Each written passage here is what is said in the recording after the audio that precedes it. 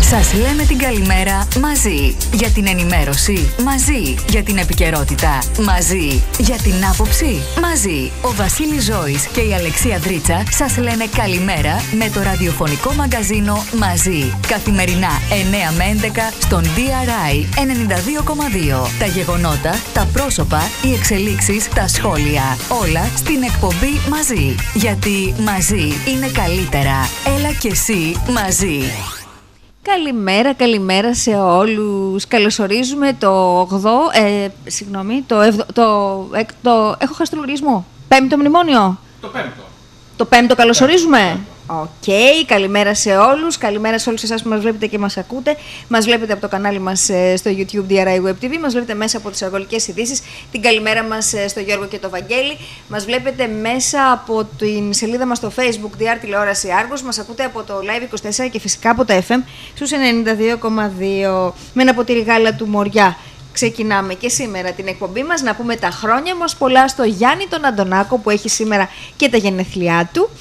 Ε, σε όλους όσους έχουν γενέθλια σήμερα, εμείς απλά τον κοντινό μας φίλο, τον Γιάννη Αντωνάκο θα πούμε. Ε, την καλημέρα μας σε όλους εσάς που οδηγάτε, στο Γιώργο τον Καραμίτσα, στο ράδιο Ταξιάρχους 67020. Α, γιορτάζω και ένα χρόνο φιλία στο facebook σήμερα με τον Γιώργο Παπαθεοφάνη. Και γράφει ο Γιώργος Παπαθεοφάνης. Ένα χρόνο φιλία στο facebook και συνεχίζουμε. Μάλιστα. Μου αρέσει πολύ να Καλά, ανοίγουμε είμαστε. τον δρόμο και να ακολουθούν οι άλλοι. Είναι ένα παλιό σποτ το οποίο έπαιζε, ε, από ό,τι μου είπε ο Γιώργος Οδρίτσας, ε, από το 88 στο ραδιόφωνο. Δεν ήμουν εγώ τότε στο ραδιόφωνο. Ε, μου αρέσει πολύ να ανοίγουμε τον δρόμο και να ακολουθούν οι άλλοι. Θυμήσου αυτό που σου λέω, μην το σχολιάσεις. Θυμήσου μόνο αυτό που Το σου λέω. συνδυάμε αυτό που μου είπες προ. Εκτός αέρα. Ωραία. Καλό είναι αυτό. Καλημέρα λοιπόν, Βασίλη μου. Καλημέρα, Αλεξία. Γιατί είπες και πέμπτο μνημόνιο; Αναφέρεσαι στο. Εγώ. Στην υποστολή σημαίας που λένε του Τσίπρα. Τι σου είπα χθες; Μέχρι το 8 έχουμε καιρό. Μην πανηγυρίζουμε ακόμα. Ε, Εσύ αν ήσουν Σόιμπλε, τι θα έκανε δηλαδή.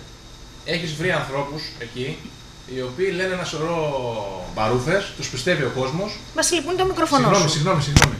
Ρε παιδί μου, Αν προσπαθώ ήσουν και εγώ Σόιμπλε- δυναμώνω κάνω. Συγγνώμη, αν ήσουν Σόιμπλε, τι θα έκανες; Πιάσαμε Αν την ήμουν κουβέντα εδώ. Σόιμπλε, θα είχα Ναι. αυτοκτονήσεις. Έχεις βρει, λοιπόν, Αλλά μην με ρωτάς έχεις εμένα, βρει τους γιατί με- ανθρώπους που Ναι. λένε ένα σωρό μπαρούφες, τους πιστεύει ο κόσμος. Ναι. περνάνε μνημόνια χωρίς το παραμικρό. Και τώρα που βγήκαν και είπαν ότι τα ψηφίζουν και με δύο χέρια, δεν είναι ευκαιρία να περάσουμε και ένα πέμπτο. Το Δεν θα- Citigroup εσύ δεν θα το λέει, έκανες. το Citigroup λέει Ναι. ότι πάμε σε πέμπτο μνημόνιο. Έτσι, οι τελευταίες λοιπόν εξελίξεις για το ελληνικό χρέος οδηγούν σε νέο μνημόνιο, ανέφερε ο Όμιλος και συνέχισε ότι το Διεθνές Νομισματικό Ταμείο έχει αποφασίσει πλέον επίσημα να συμμετάσχει στο ελληνικό πρόγραμμα χωρίς χρηματοδοτούμενο ρόλο, μαζί μέχρι να αποσαφινιστούν οι λεπτομέρειες για την ελάφρυνση του χρέους. Η εξέλιξη αυτή θα μειώσει ακόμη περισσότερο την πιθανότητα ένταξης των ελληνικών ομολόγων στο πρόγραμμα ποσοτικής χαλάρωσης τη Ευρωπαϊκής Κεντρικής Τράπεζας και συνάμα μειώνεται η πιθανότητα εξόδου της Ελλάδας στις αγορές. Στην πράξη, αναφέρει η ΣΥΤΗ, αυτό σημαίνει πως ανοίγει ο δρόμος για ένα τέταρτο πρόγραμμα διάσωσης, καθώς η Ελλάδα δύσκολα θα μπορεί να αυτοχρηματοδοτηθεί με βιώσιμο τρόπο από τις αγορές. Αποτιμώντας τα όσα έγιναν στο Eurogroup, ο Όμιλος σημειώνει ότι απέτυχε να ολοκληρώσει τη δεύτερη αξιολόγηση και παρά την πρόοδο που έχει σημειώσει η Ελλάδα στα προαπαιτούμενα, δεν κατέληξε σε συμφωνία σχετικά με ένα πλήρες λεπτομερές σχέδιο για την ελάφρυνση του χρέους, ώστε το Διεθνές Νομισματικό Ταμείο να μπορέσει να συμμετάσχει επίσημα στο πρόγραμμα. Είχαμε στροφή του Τσίπρα για το χρέος.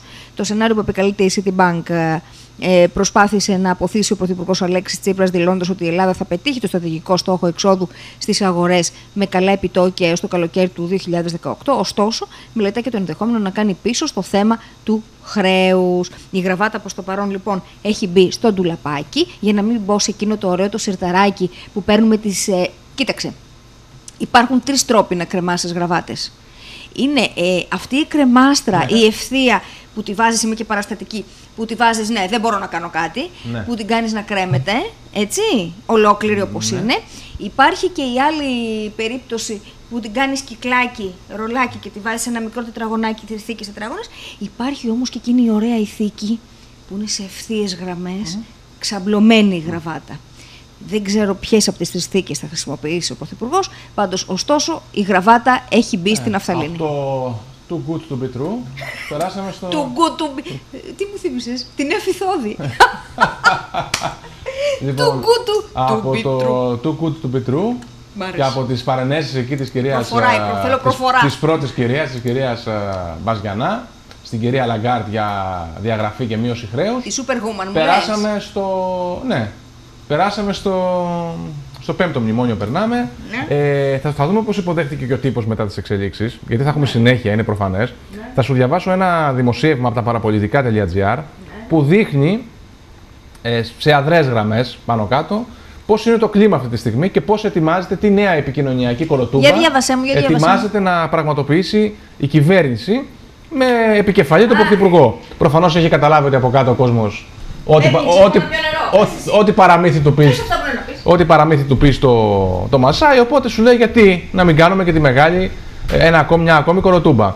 Σε αναζήτηση λοιπόν μιας ξεκάθαρης στρατηγικής για το χρέος είναι το Μαξίμου στον απόϊχο της δυσμενούς μη απόφασης του Eurogroup της Δευτέρας, με αποτέλεσμα ο Αλέξης Τσίπρας να χαμηλώνει εμφανώς τους τόνους.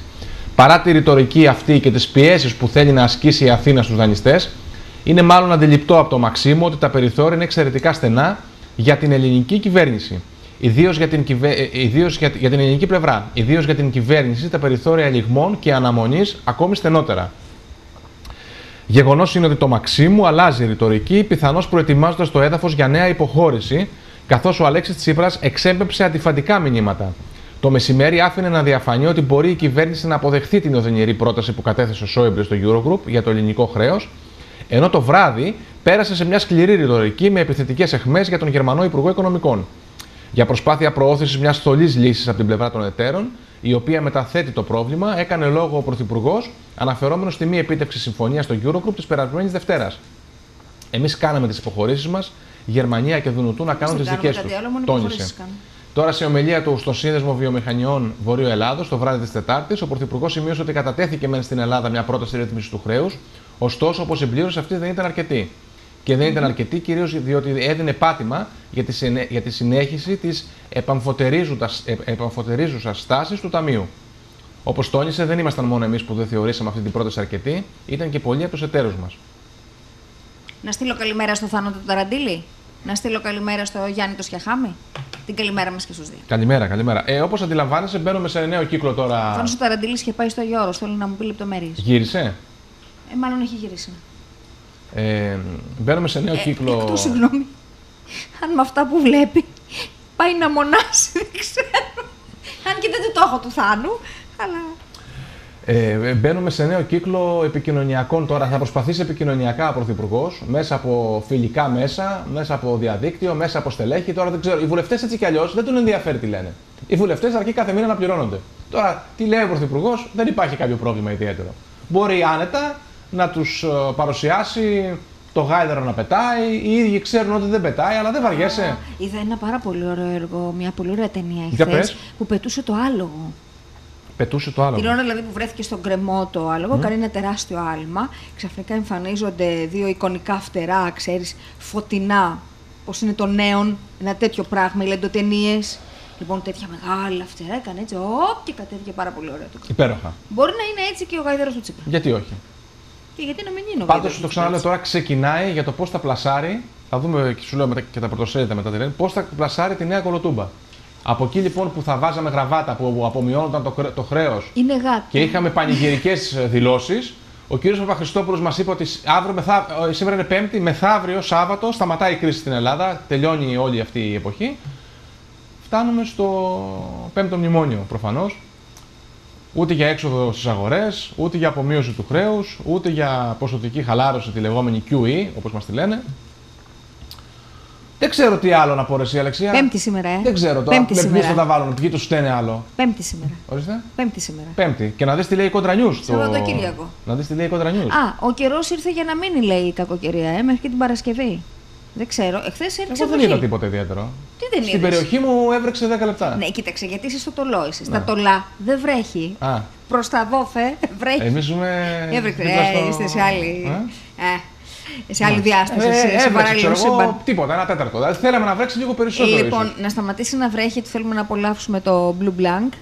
Ε, μην μας το χαλάτε, ας πούμε, τώρα. Ε, Δεν ξέρω. Λοιπόν, ε, πάμε στα δικά μας. Εσείς ολοκληρώθηκε η παρούσα θητεία του Κεντρικού Αρχαιολογικού Συμβουλίου. Δύσκολη θητεία έγκριτων αρχαιολόγων που διαχειρίστηκαν με αίσθημα ευθύνης και επιστημονικό κύρος σημαντικά ζητήματα μεγάλων αναπτυξιακού ενδιαφέροντος και ύψης της σημασίας, ύψης της σημασίας για την πολιτιστική μας κληρονομιά. ανέστεψαν την επικοινωνιακή εκμετάλλευση των σπουδαίων ευρημάτων της Αμφίπολης και συνέβαλαν ουσιαστικά στην προστασία του μνημείου. Έσωσαν από την καταστροφή τις πολύτιμες αρχαιότητες που ανασκάφησαν στους σταθμούς Βενιζέλου και Αγίας Σοφίας στο μετρό Θεσσαλονίκης, απόδωσαν επιτέλους στο κοινό το μνημείο της Ροτώντας, ανέδειξαν το επιστημονικό κύρος του Συμβουλίου που σε ορισμένες αποφάσεις είχε χειραγωγηθεί από την πολιτική ηγεσία του Υπουργείου Πολιτισμού επί συγκυβέρνησης Σαμαρά Βενιζέλου και ταυτόχρονα ανάδειξαν τα κοινωνικά πρόσωπα του Συμβουλίου γνωμοδοτώντας υπέρ της προσωρινής παραμονής προσφύγων στο αρχαιολογικό χώρο της ΚΟ. Ε, να πούμε για την ε, προϊσταμένη της Εφορίας Αρχαιοτήτων Αργολίδας και Διευθύντρια του Μουσείου με κοινών Άρκης της Παπαδημητρίου. Ε, κάποιοι ξέχασαν, φαίνεται, το έργο τους αυτή τη θητεία. Αντικαθίσταται η Μαρία Μιχαηλίδου, έφορος αρχαιοτήτων Δωδεκανήσου, που έχει προτείνει την κήρυξη της αφάντου με στο αρχαιολογικό χώρο, από, όπως και η Αναστασία Λαζαρίδου, ένα πληρωματικό μέλος που κατά καιρούς είχε διαφωνήσει για τη διαχείριση αρχαίων θεάτρων μαζί με την ε, Άλκης Παπαδημητρίου. Α, δυστυχώς λοιπόν η Άλκης Παπαδημητρίου δεν είναι, είναι εκτός του Αρχαιολογικού Συμβουλίου. Τι να κάνουμε; Αυτά έχουν.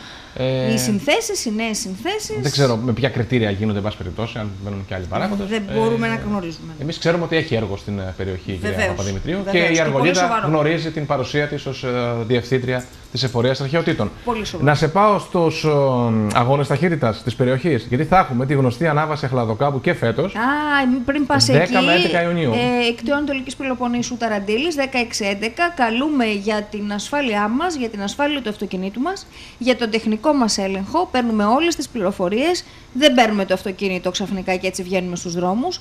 Και το παραμικρό να αντιληφθούμε ένα τηλέφωνο, να κλείσουμε ένα ραντεβού, ανεξάρτητα Βασίλη μου για το αν είναι η ημερομηνία του να περάσουμε τεχνικό έλεγχο ή όχι. Μπορούμε να το κάνουμε και έξτρα. Πάμε λοιπόν. Ε, το Πανελλήνιο Πρωτάθλημα Αναβάσεων και Ιστορικών Αυτοκινήτων θα ταξιδέψει λοιπόν στην Πελοπόννησο, όπου θα διεξαχθεί η ανάβαση αχλαδοκάμπου στις 10-11 Ιουνίου το Σαββατοκύριακο. Ε, είναι τέταρτος ε, γύρος του θεσμού και διοργανώνεται από το Σωματείο Αυτοκινητιστικής Λέσχης Τρίπολης σε συνεργασία με το Σωματείο Start Line. Ο αγώνας διεξάγεται στη γνωστή, τεχνική και πολύ αγαπημένη διαδρομή μήκους 4,9 χιλιόμετρων στην παλαιά Εθνική Οδό Άρκου Τρυπόλεως στην περιοχή του Κολοσούρτη. Δικαίωμα συμμετοχής έχουν όλα τα αυτοκίνητα που εντάσσονται στις ομάδες του θεσμού, καθώς και επιμέρους ομάδες εφόσον έχουν προταθεί και εγκριθεί από την Επιτροπή Αγώνων και Ομοσπονδίας Μηχανοκίνητου Αθλητισμού Ελλάδας. Οι συμμετοχές λήγουν ε, την Παρασκευή 2 Ιουνίου. Ένα διήμερο λοιπόν και φέτος με αρκετό κόσμο, αρκετός κόσμος ανεβαίνει στο βουνό, στον Αχλαδόκαμπο, να απολαύσει την ανάβαση του Αχλαδοκάμπου. Επίσης, ε, να σε πάω, πού να σε πάω, στο Ναύπλιο, όπου έχουμε εκδηλώσεις για την άλωση της ε, Κωνσταντινούπολης. Μάλιστα. Συμπληρώνονται λοιπόν 564 χρόνια από την Αποφράδα ημέρα και ο Δήμος Ναυπλιαίων με τον Δημοτικό Οργανισμό Περιβάλλον, με τον ΔΟΠΑΤ, συνδιοργανώνουν με την, περιφέρεια, με την Περιφερειακή Ενότητα Αργολίδας διήμερο εκδηλώσεων για την επέτειο της αλώσεως του Κωνσταντινούπολεως που θα πραγματοποιηθεί την Κυριακή 28 Μαου στις 7.30 το απόγευμα και τη Δευτέρα, διήμερο εκδηλώσεων, 29 Μαου στις 8 στην αίθουσα της πρώτης βολής των Ελλήνων, στο βουλευτικό στον Ναύπλιο. Την πρώτη μέρα είναι προσκεκλημένος ο γνωστός μουσικο, μουσικολαογράφος και παραγωγός τηλεοπτικών εκπομπών στην ΕΡΤ, ο κ. Παναγιώτης Μιλονά, ο οποίος θα μιλήσει για το ιστορικό γεγονός της Αλώσεως και θα ερμηνεύσει μαζί με συνεργάτες του συνοδεία παραδοσιακής ορχήστρας σχετικά άσματα. Επίσης, το μουσικό σχήμα Βυζαντινή και Παραδοσιακή Αντίλαλη θα παρουσιάσει τραγούδια και θρήνους για την άλωση από διάφορες περιοχές του ελληνισμού σε διδασκαλία και διεύθυνση του κ. Ρούτουλα.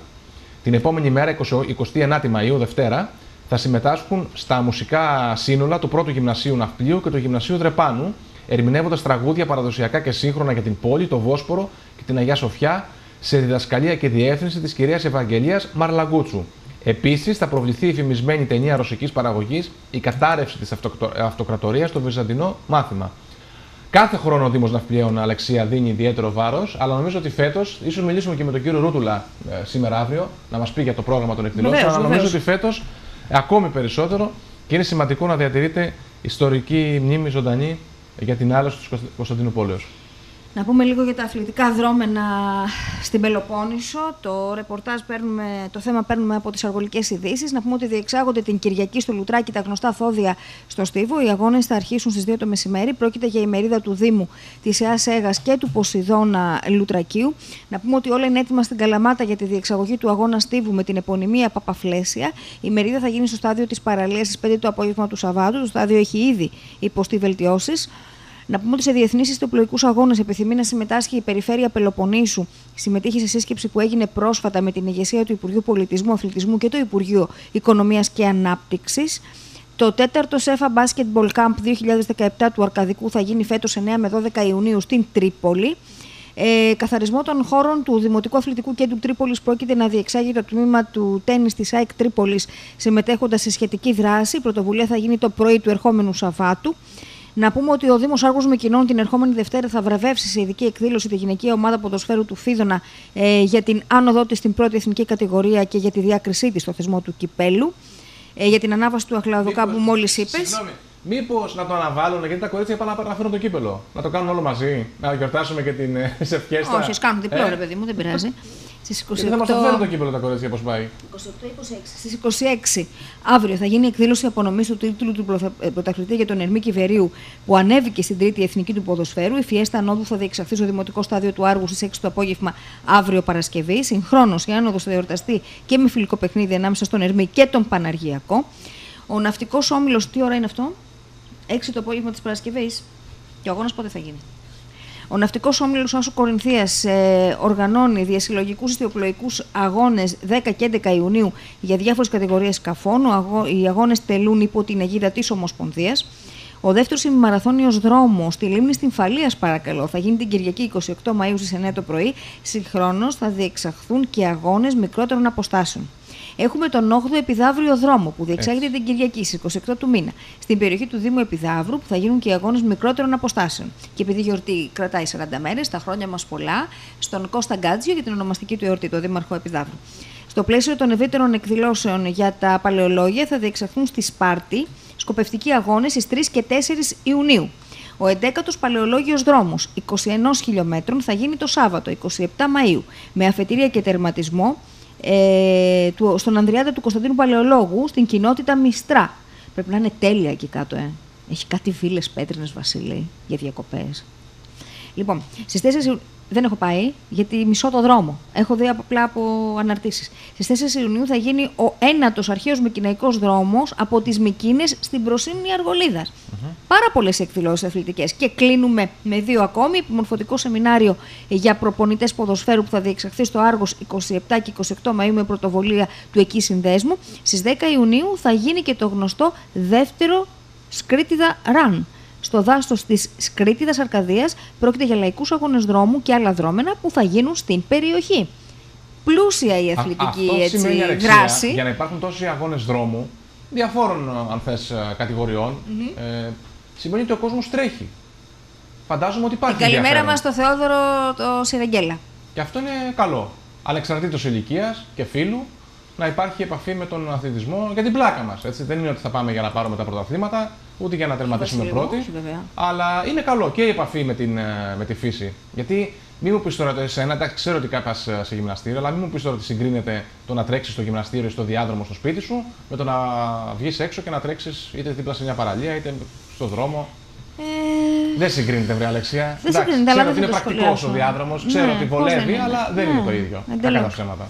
Λοιπόν, κοίταξε, αν έχεις παρέα και το κάνεις με παρέα είναι ωραία. Μόνος σου δεν είναι ωραία να έξω περπάτημα και τέτοια. Δεν ξέρω. Ταξιδεύει το μυαλό, δεν... φτιάχνεις ψυχολογία. Εμένα ταξιδεύει έτσι κι αλλιώς. Πάμε στο. Αυτά είναι. Ορίστε. Άμα ο άνθρωπος είναι ρομαντικός, μην τον φοβάσαι.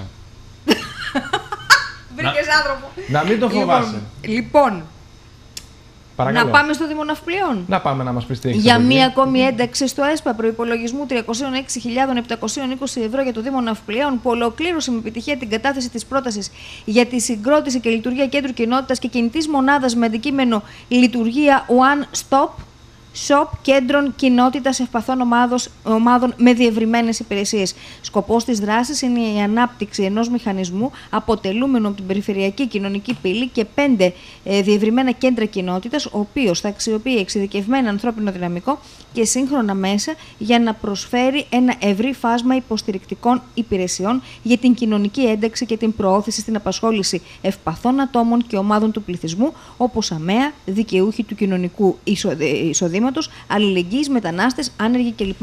Συγκεκριμένα, θα λειτουργήσει στην Αργολίδα με δικαιούχο το Δήμο Ναυπλιαίων και έτερο τους Δήμους Άργους Μεκινών, Επιδαύρου και Ερμιονίδα ε, που θα υποστηρίζονται μέσα, μέσω κινητής μονάδας. Το κέντρο κοινότητας θα αποτελέσει το αρχικό σημείο επαφής του Δήμου με τους πολίτες που έχουν ανάγκη στις δράσεις κοινωνικής προστασίας, ε, οι οποίοι θα καταγράφονται και στη συνέχεια θα διασυνδέονται με φορείς και προγράμματα που προσφέρουν λύσεις μέσω απασχόλησης, προνοιακής βοήθειας, επανένταξης κλπ.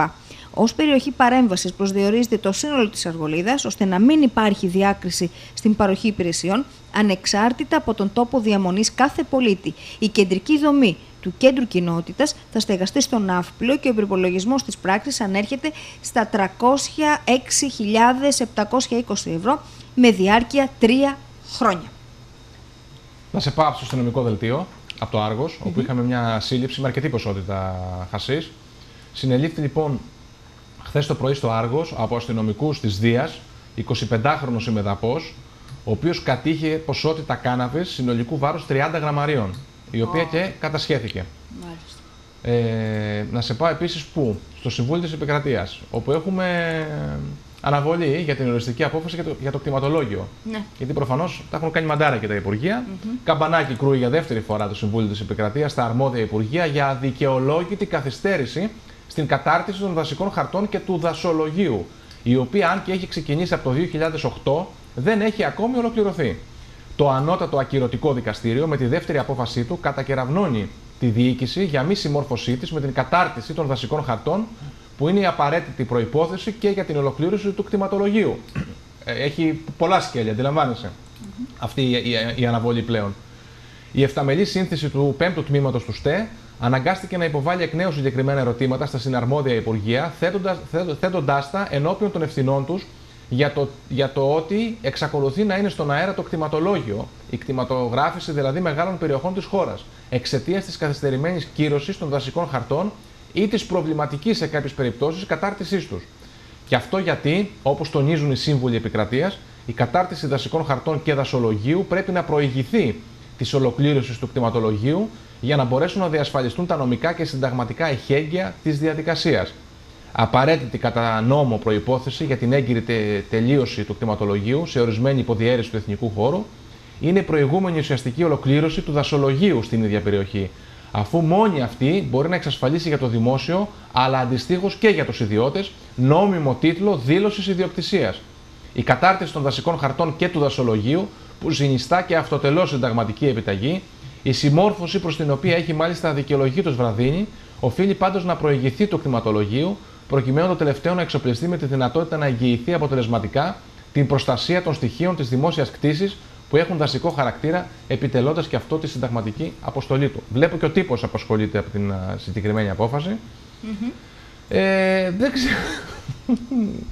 Ξέρεις γιατί γελάω, γιατί τα τελευταία δύο, μάλλον δυόμιση χρόνια, έτσι, πες Γενάρη του 2015, εντάξει είχαμε και δύο-τρεις μήνες πανηγύρια, βαρουφάκιδες, ξέρω εγώ, όλα καλά, κάναμε επαναστάσεις και όλα κτλ.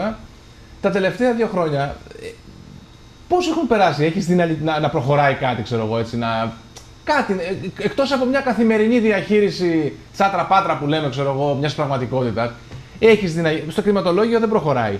Επενδύσεις, είδαμε στο ελληνικό το φιάσκο τι γίνεται. Κανάλια δεν κλείσανε. Ε, αναδιάρθρωση στις, ε, ε, στις, ε, στα μέσα μαζικής ενημέρωσης δεν έγινε. Δηλαδή, την καλημέρα μας στη Χριστίνα την Κατσιλογιάννη, τα φιλιά μας, καθώς και στη Μαρία τη Γερμανάκου στο Τολόγ που ανεβάζει κάτι φωτογραφίες εξαιρετικές, τύπου δικές σου.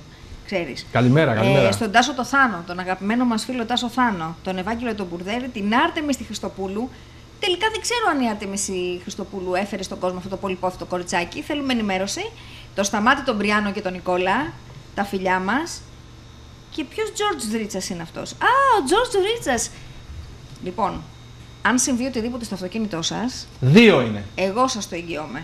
Δεν νομίζω Spoiler να- δρίτσας στο Λιγουριό. Δεν μπορείτε να καταλάβετε τι δουλειά κάνει αυτός ο άνθρωπος. Πραγματικά είναι εξαιρετικός. Εγώ σας το λέω. Όπου προφανώς κάτι. Την καλημέρα μας στην Ανθή την Κουτσουμπού. Για, για να το λες, κάτι. Θα σου πω, κάτι επειδή ήμουν κοτσουκιά πολύ έκανες. εκνευρισμένη Ναι. πέρυσι, Μμ. κάποια στιγμή, Ναι. κάνω όπισθεν δεν έχει ανοίξει γκαραζόπορτα Ναι. και χτύπησα τον προφυλακτήρα μου. Ε, πήγα αμέσως στον ε, Γιώργο το Δρίτσα, ο οποίος βρίσκεται στο Λιγουριό. Spoiler Δρίτσας λέγεται η εταιρεία. Ε, μου έφτιαξε τον προφυλακτήρα μου καινούριο. Όταν σου λέω καινούριο, δεν το πίστευα, τον κοίταγα. Λέω δικός μου είναι. Μήπως μου λες καινούριο, Όχι, μου λέει. Α, είναι- τόσο ζημιά έχεις κάνει δηλαδή. Έκανε ζημιά. Α. Ναι, ναι, ναι. Λοιπόν, έχουμε στάση εργασία σήμερα που έχει προαναγγείλει ήδη η Δασκαλική Ομοσπονδία Ελλάδας προκειμένου να διευκολυνθούν και να συμμετέχουν οι δάσκαλοι στη συγκέντρωση διαμαρτυρίας που πραγματοποιούν οι επιστημονικοί φορείς των εκπαιδευτικών γαλλικής και γερμανικής φιλολογίας στο Υπουργείο ε, Παιδείας σήμερα στη μία ε, το μεσημέρι, σύμφωνα με σχετική τους ανακοίνωση. Η στάση εργασίας θα πραγματοποιηθεί τις δύο τελευταίες ώρες του πρωινού κύκλου και τις δύο πρώτες του απογευματινού. Καλή επιτυχία να πούμε στα παιδιά μας που γράφουν σήμερα πολιτική οικονομία. Ε, μ, τι να πω, αύριο δεν γράφουμε τίποτα. Τη Δευτέρα γράφουμε ε, γεωμετρία, την Τρίτη γράφουμε θρησκευτικά και τελειώσαμε επιτέλους. Γιατί τους τρώνε το ναι, να καλοκαίρι. ξεκουράσει το παιδί. Και να Άστε λίγο ξεκουραστεί. να πάρει μια Αμέσως ανάσα. θα κάνουν ε, προεργασία για τη Δευτέρα Λυκείου. Να πούμε ότι την Τετάρτη 31 Μαΐου στις 5.30 θα διεξαχθεί φιλανθρωπικός ποδοσφαιρικός αγώνας ε, για το ειδικό δημοτικό σχολείο Ερμιονίδας μεταξύ των celebrity, ναυπλίου και Μισό λεπτό να σας πω. Παλέμαχων ποδοσφαιριστών Ερμιονίδας και των Celebrity. Τα έσοδα του αγώνα θα διατεθούν στο ειδικό δημοτικό σχολείο, όπως είπαμε, την Τετάρτη 31 η Μαου στις 5.30 στο γήπεδο της Κοιλάδα. Φιλικός αγώνας, έτσι; Φιλικότατος. Μάλιστα. Πάμε Για στο πάμε. διαφημιστικό διάλειμμα των 9.30. Εσείς 29 λεπτά μετά τις 9 και 53 δευτερόλεπτα. Εσείς μείνετε συντονισμένοι. Μας βλέπετε από το κανάλι μας στο YouTube DRI Web TV. Μας βλέπετε μέσα από τις αργολικές ειδήσεις. Μας ακούτε από το Live 24 και από το FM σου 92,2. Μας βλέπετε επίσης ζωντανά από τη σελίδα μας στο Facebook DR Τηλεόραση Άργος. Επιστρέφουμε σε λίγα λεπτά εδώ μαζί. Σας λέμε την καλημέρα μαζί. Για την ενημέρωση μαζί. Για την επικαιρότητα μαζί. Για την άποψη μαζί. Ο Βασίλης Ζώης και η Αλεξία Δρίτσα σας λένε καλημέρα με το ραδιοφωνικό μαγκαζίνο μαζί. Καθημερινά 9 με 11 στον DRI 92,2. Τα γεγονότα, τα πρόσωπα, οι εξελίξεις, τα σχόλια. Όλα στην εκπομπή μαζί. Γιατί μαζί είναι καλύτερα. Έλα και εσύ μαζί. Εδώ είμαστε λοιπόν μαζί, 39 λεπτά μετά τις 9 από τον DRI 92,2 στο FM. Μας βλέπετε ζωντανά από το κανάλι μας στο YouTube DRI Web TV. Μας βλέπετε μέσα από τις αργολικές ειδήσεις. Μας βλέπετε ζωντανά από τη σελίδα μας στο Facebook DR Τηλεόραση Άργος. Μας ακούτε από το Live 24 και από τα FM 92,2. Καλημέρα σε όλους εσάς που τώρα ανοίξατε τους δέκτες σας. Ε, καλωσορίσαμε στην έναρξη της εκπομπής μας το 8ο, 7ο, 6ο, 5ο μνημόνιο. Ε, να τα εκατοστήσουμε και μπράβο μας, γιατί αυτοί που μας κυβερνάνε δείχνουν και ποιοι είμαστε κι εμείς. Ε, καλημέρα μας, ε, λοιπόν. Καλημέρα και σε εσάς με το γάλα του Μοριά σε 900 και σε μια πόλη σε ολόκληρη την Ελλάδα. Την αμέσως επόμενη μέρα της παραγωγής, το γάλα του Μοριά βρίσκεται στα ράφια των σούπερ μάρκετ. Και να σας ενημερώσουμε για μία ακόμη φορά ότι το γαλακτοπολείο και ε, κρεοπολείο του Μοριά βρίσκονται στην ε, Βασιλίση Σοφίας και Ναυπλίου στο Άργος με εξαιρετικής ποιότητας κρέατα, ντόπια κρέατα ε, και εξαιρετικής ποιότητας γαλακτοκομικά προϊόντα. Την καλημέρα μας στην πλατεία Συντάγματος, στο νέο στέκι ε, που πια έχει γίνει όχι απλά στέκι, το ξέρουμε όλοι, πηγαίνουμε εκεί χωρίς να ρωτάμε. Στο Mentor Bar and Grill, στην πλατεία Συντάγματος στο Ναύπλιο, με τα υπέροχα ριζότα και τα υπέροχα ζυμαρικά, αλλά και τα γλυκά στο τέλος που εμείς έχουμε ιδιαίτερη δυναμία εδώ. Σιγά μην δεν το έλεγα για τα γλυκά. Θα ακούει τώρα ο Τάκης ο Μακρύς και θα αρχίσει με τους λουκμάδες. Η κτέων τελική Πελοποννήσου Ταραντήλη. Προσέχουμε το αυτοκίνητό μας, προσέχουμε τους ανθρώπους που έχουμε μέσα σε αυτό, αλλά και τους ίδιους σε αυτούς και τους άλλους που οδηγούν τα άλλα αυτοκίνητα. Γιατί αν το δικό μας αυτοκίνητο έχει βλάβει και προκαλέσουμε ζημιά σε ένα άλλο αυτοκίνητο, δεν φταίει ο άλλος, φταίμε εμείς. 1611, εκτέο Ανατολικής Πελοποννήσου Ταραντήλη, στο τηλέφωνο που μπορούμε να καλούμε, να κάνουμε χρήση και του delivery κταίο, που έρχονται, παίρνουν το αυτοκίνητό μας, του κάνουν τεχνικό έλεγχο και το επιστρέφουν στη βάση του χωρίς καμία επιπλέον χρέωση. Ακολουθούμε την σελίδα στο Facebook Κταίο Ταραντήλης, μπαίνουμε στον εβδομαδιαίο διαγωνισμό ε, 50 ευρώ ε, καύσιμα για τον ε, τυχερό κάθε εβδομάδα. Την καλημέρα μας στο 360 Grill Dining and Wine Bar. Πολλοί ντρέπονται στο 360, ε. θα το πω στον αέρα. Τι λέω, εννοείς, του Περικλ... ντρέπονται; λέω του Περικλή του Μπελίτσιου, έλα βρε παιδί μου να μας πεις δύο λόγια για το τι έγινε στο σαλόνι τουρισμού στη Χελέξπο, στο Μαρούσι. Ε, δεν μπορώ να το πω. Πετε τα εσείς. Ε, μα Ναι, αλλά εσύ πήγες. Έλαντε, πώς θα τα μεταφέρω εγώ όλα αυτά; Ήταν πραγματικά, λέει, κάτι το εξαιρετικό. Ήταν η πρώτη φορά που είχαν φύγει από το περίπτερο της περιφέρειας. Ο Δήμος Ναυπλίου ήταν και τιμόμενος Ναι, ε, Δήμος. Είχαν το δικό τους περίπτερο. Ε, πιστεύω να έχουμε λεπτομέρειες. Μάλιστα. Ε, την καλημέρα μας στο ξένον ε, καφέ στην πλατεία Συντάγματος με τον υπέροχο καφέ Mr. Roses και τους εξαιρετικούς λουκουμάδες αλλά και την μοναδική κουζίνα. Καλημέρα στη Μελισσινό Security που φροντίζουν για την ε, φύλαξη των ε, σπιτιών, των επιχειρήσεών μας αλλά και των εκδηλώσεών μας γιατί όχι. Καλημέρα στον Άγγελο Μελισσινό, καλημέρα στον Έγκρο Espresso Bar και το εστιατόριο Αραπάκος. Ήδη έχουν αρχίσει κάποιες άδειες και να πούμε Καλημέρα, ελπίζει η Γιολάντα. Μέρα Γιολάντα μου, η ελπίδα πεθαίνει τελευταία. Τα έχουμε πει αυτά. καλημέρα, καλημέρα και στον φούρνο τσίγκα στη, στο Λάλουκα Άργους. Ε, ψωμί δεν θέλουμε, αλλά κανένα γλυκό, άμα θέλετε, μπορείτε να μας φέρετε. Εμείς εδώ ανοιχτά είμαστε. Λοιπόν, Το άμα θέλετε μπορείτε να μας φέρετε. σημαίνει φέρετε ότι, μας. ότι έπρεπε να είσαι στον ίδιο στον δρόμο, Ακριβώς. φορτωμένη. Ξέρεις τι εκμεκ φτιάχνει η Γιολάντα. Α, μην μας λε τέτοια πρωί-πρωί και έχουμε αδυναμίες στα, στα αυτά τα γλυκά. Λοιπόν, Ωχ, Παναγία μου, λοιπόν, ε, Νέγκρος Πρέσο Μπαρ εστιατόριο Αραπάκος. Είδα έναν από την ομάδα του Νέγκρο, δεν θα πω όνομα, να βρίσκεται σε διακοπές. Ζήλεψα τρελά. Καλημέρα στη- και στις δύο ομάδες, δύο σε ένα. Την καλημέρα μας στην GD Energy Solutions και την etvmarket.gr Μεγάλο Αλεξάνδρου και να έλυσε ένα στον Ναύπλο, ακριβώς απέναντι από το νέο πι. Μείον 80% μείωση στο λογαριασμό της ΔΕΗ με φ- προϊόντα φωτισμού LED. Αλλάξτε τα φώτα στο σπίτι σας, βάλτε LED φωτισμό και άνω των 150 ευρώ σε αγορά ε, λαμπτήρων LED η τοποθέτηση γίνεται εντελώς δωρεάν από εμάς. Επίσης, για συστήματα ασφαλείας, κάμερες, ε, ακόμη και αυτόνομα συστήματα ενέργειας, ε, μπορείτε να κάνετε μια επίσκεψη από την GD Energy Solutions και έτσι, για να δω. Ε, εντάξει, η απάντηση ήταν μακάρι να μπορούσα να φύγω και να έρθω εκεί τώρα. Το ξέραμε, Γιολάντα, ότι προσέχεις τη διατροφή μας και γι' αυτό το λες. Να σκλαβώνεις Λοιπόν, μα κλαβώνει Είναι σαν να το φάγαμε. Είναι, σαν Ευχαριστούμε. το... είναι σαν. Την καλημέρα μας στην πιτσαρία Κουάτρος, Ασκληπιού 15 στο Ναύπλιο με την υπογραφή Πάντα Φάρμα Μαρνέρης. Πόσο σημαντικό ρόλο παίζει η ποιότητα. Βεβαίως. Και φυσικά και η τιμή, έτσι. Λοιπόν, Γιατί ε, πρέπει να προσέχουμε Ναι. τη διατροφή μας. Η διατροφή δεν είναι μόνο Οπωσδήποτε. τι τρώμε σπίτι μας. Η διατροφή είναι γενικώ τι, τι επιλέγουμε να, Έτσι είναι. που επιλέγουμε να φάμε. Ε, πάντα με την υπογραφή Φα- Φάρο Μαρνέρη, ε, ανανεωμένο μενού στην πιτσαρία Quattro, Σκληπιού 15 στο Ναύπλιο, με υπέροχα ζυμαρικά, ιταλική κουζίνα αλλά και μοναδικά κρεατικά. Την καλημέρα μας στα καταστήματα Σελεστίνο, Βασιλέο Κωνσταντίνου 16 στο Άργος και πλατεία Πετρινού και Ισαάκ Σολομού 14 στην Τρίπολη, καθώς και το κατάστημα Μιγκάτο, Βασιλέο Κωνσταντίνου 15 στο Άργος. Ε, πέρασα, νομίζω, την Τρίτη από το κατάστημα Μιγκάτο στο Άργος. Βασίλη, Τώρα η Φανή θα γελάει που με ακούει. Ε, ήθελα να τα πάρω όλα τα παπούτσια. Παιδιά, δεν γίνεται. Δηλαδή, τρεις δεκάφυλλε ντουλάπες, πέντε αυτό, έξι απ' έξω, κούτες αυτά. Ήθελα κι άλλα παπούτσια. Πόσο σαρανταποδαρούσε πια. Πόσο σαρανταποδα... Εξαιρετικά παπούτσια. Εξαιρετικά. Ξέρεις τώρα αυτά που είναι της ε, εποχής, αυτά με τις οι φιάπες με τα πολύ ωραία σχέδια επάνω, τα μπρονζέ, τα χρυσά, τα ροζ χρυσό. Ακριβώς, ακριβώς. Ακριβώς, ακριβώς, ακριβώς. Πόσες σαρανταποδαρούσε σε κάθε πόδι.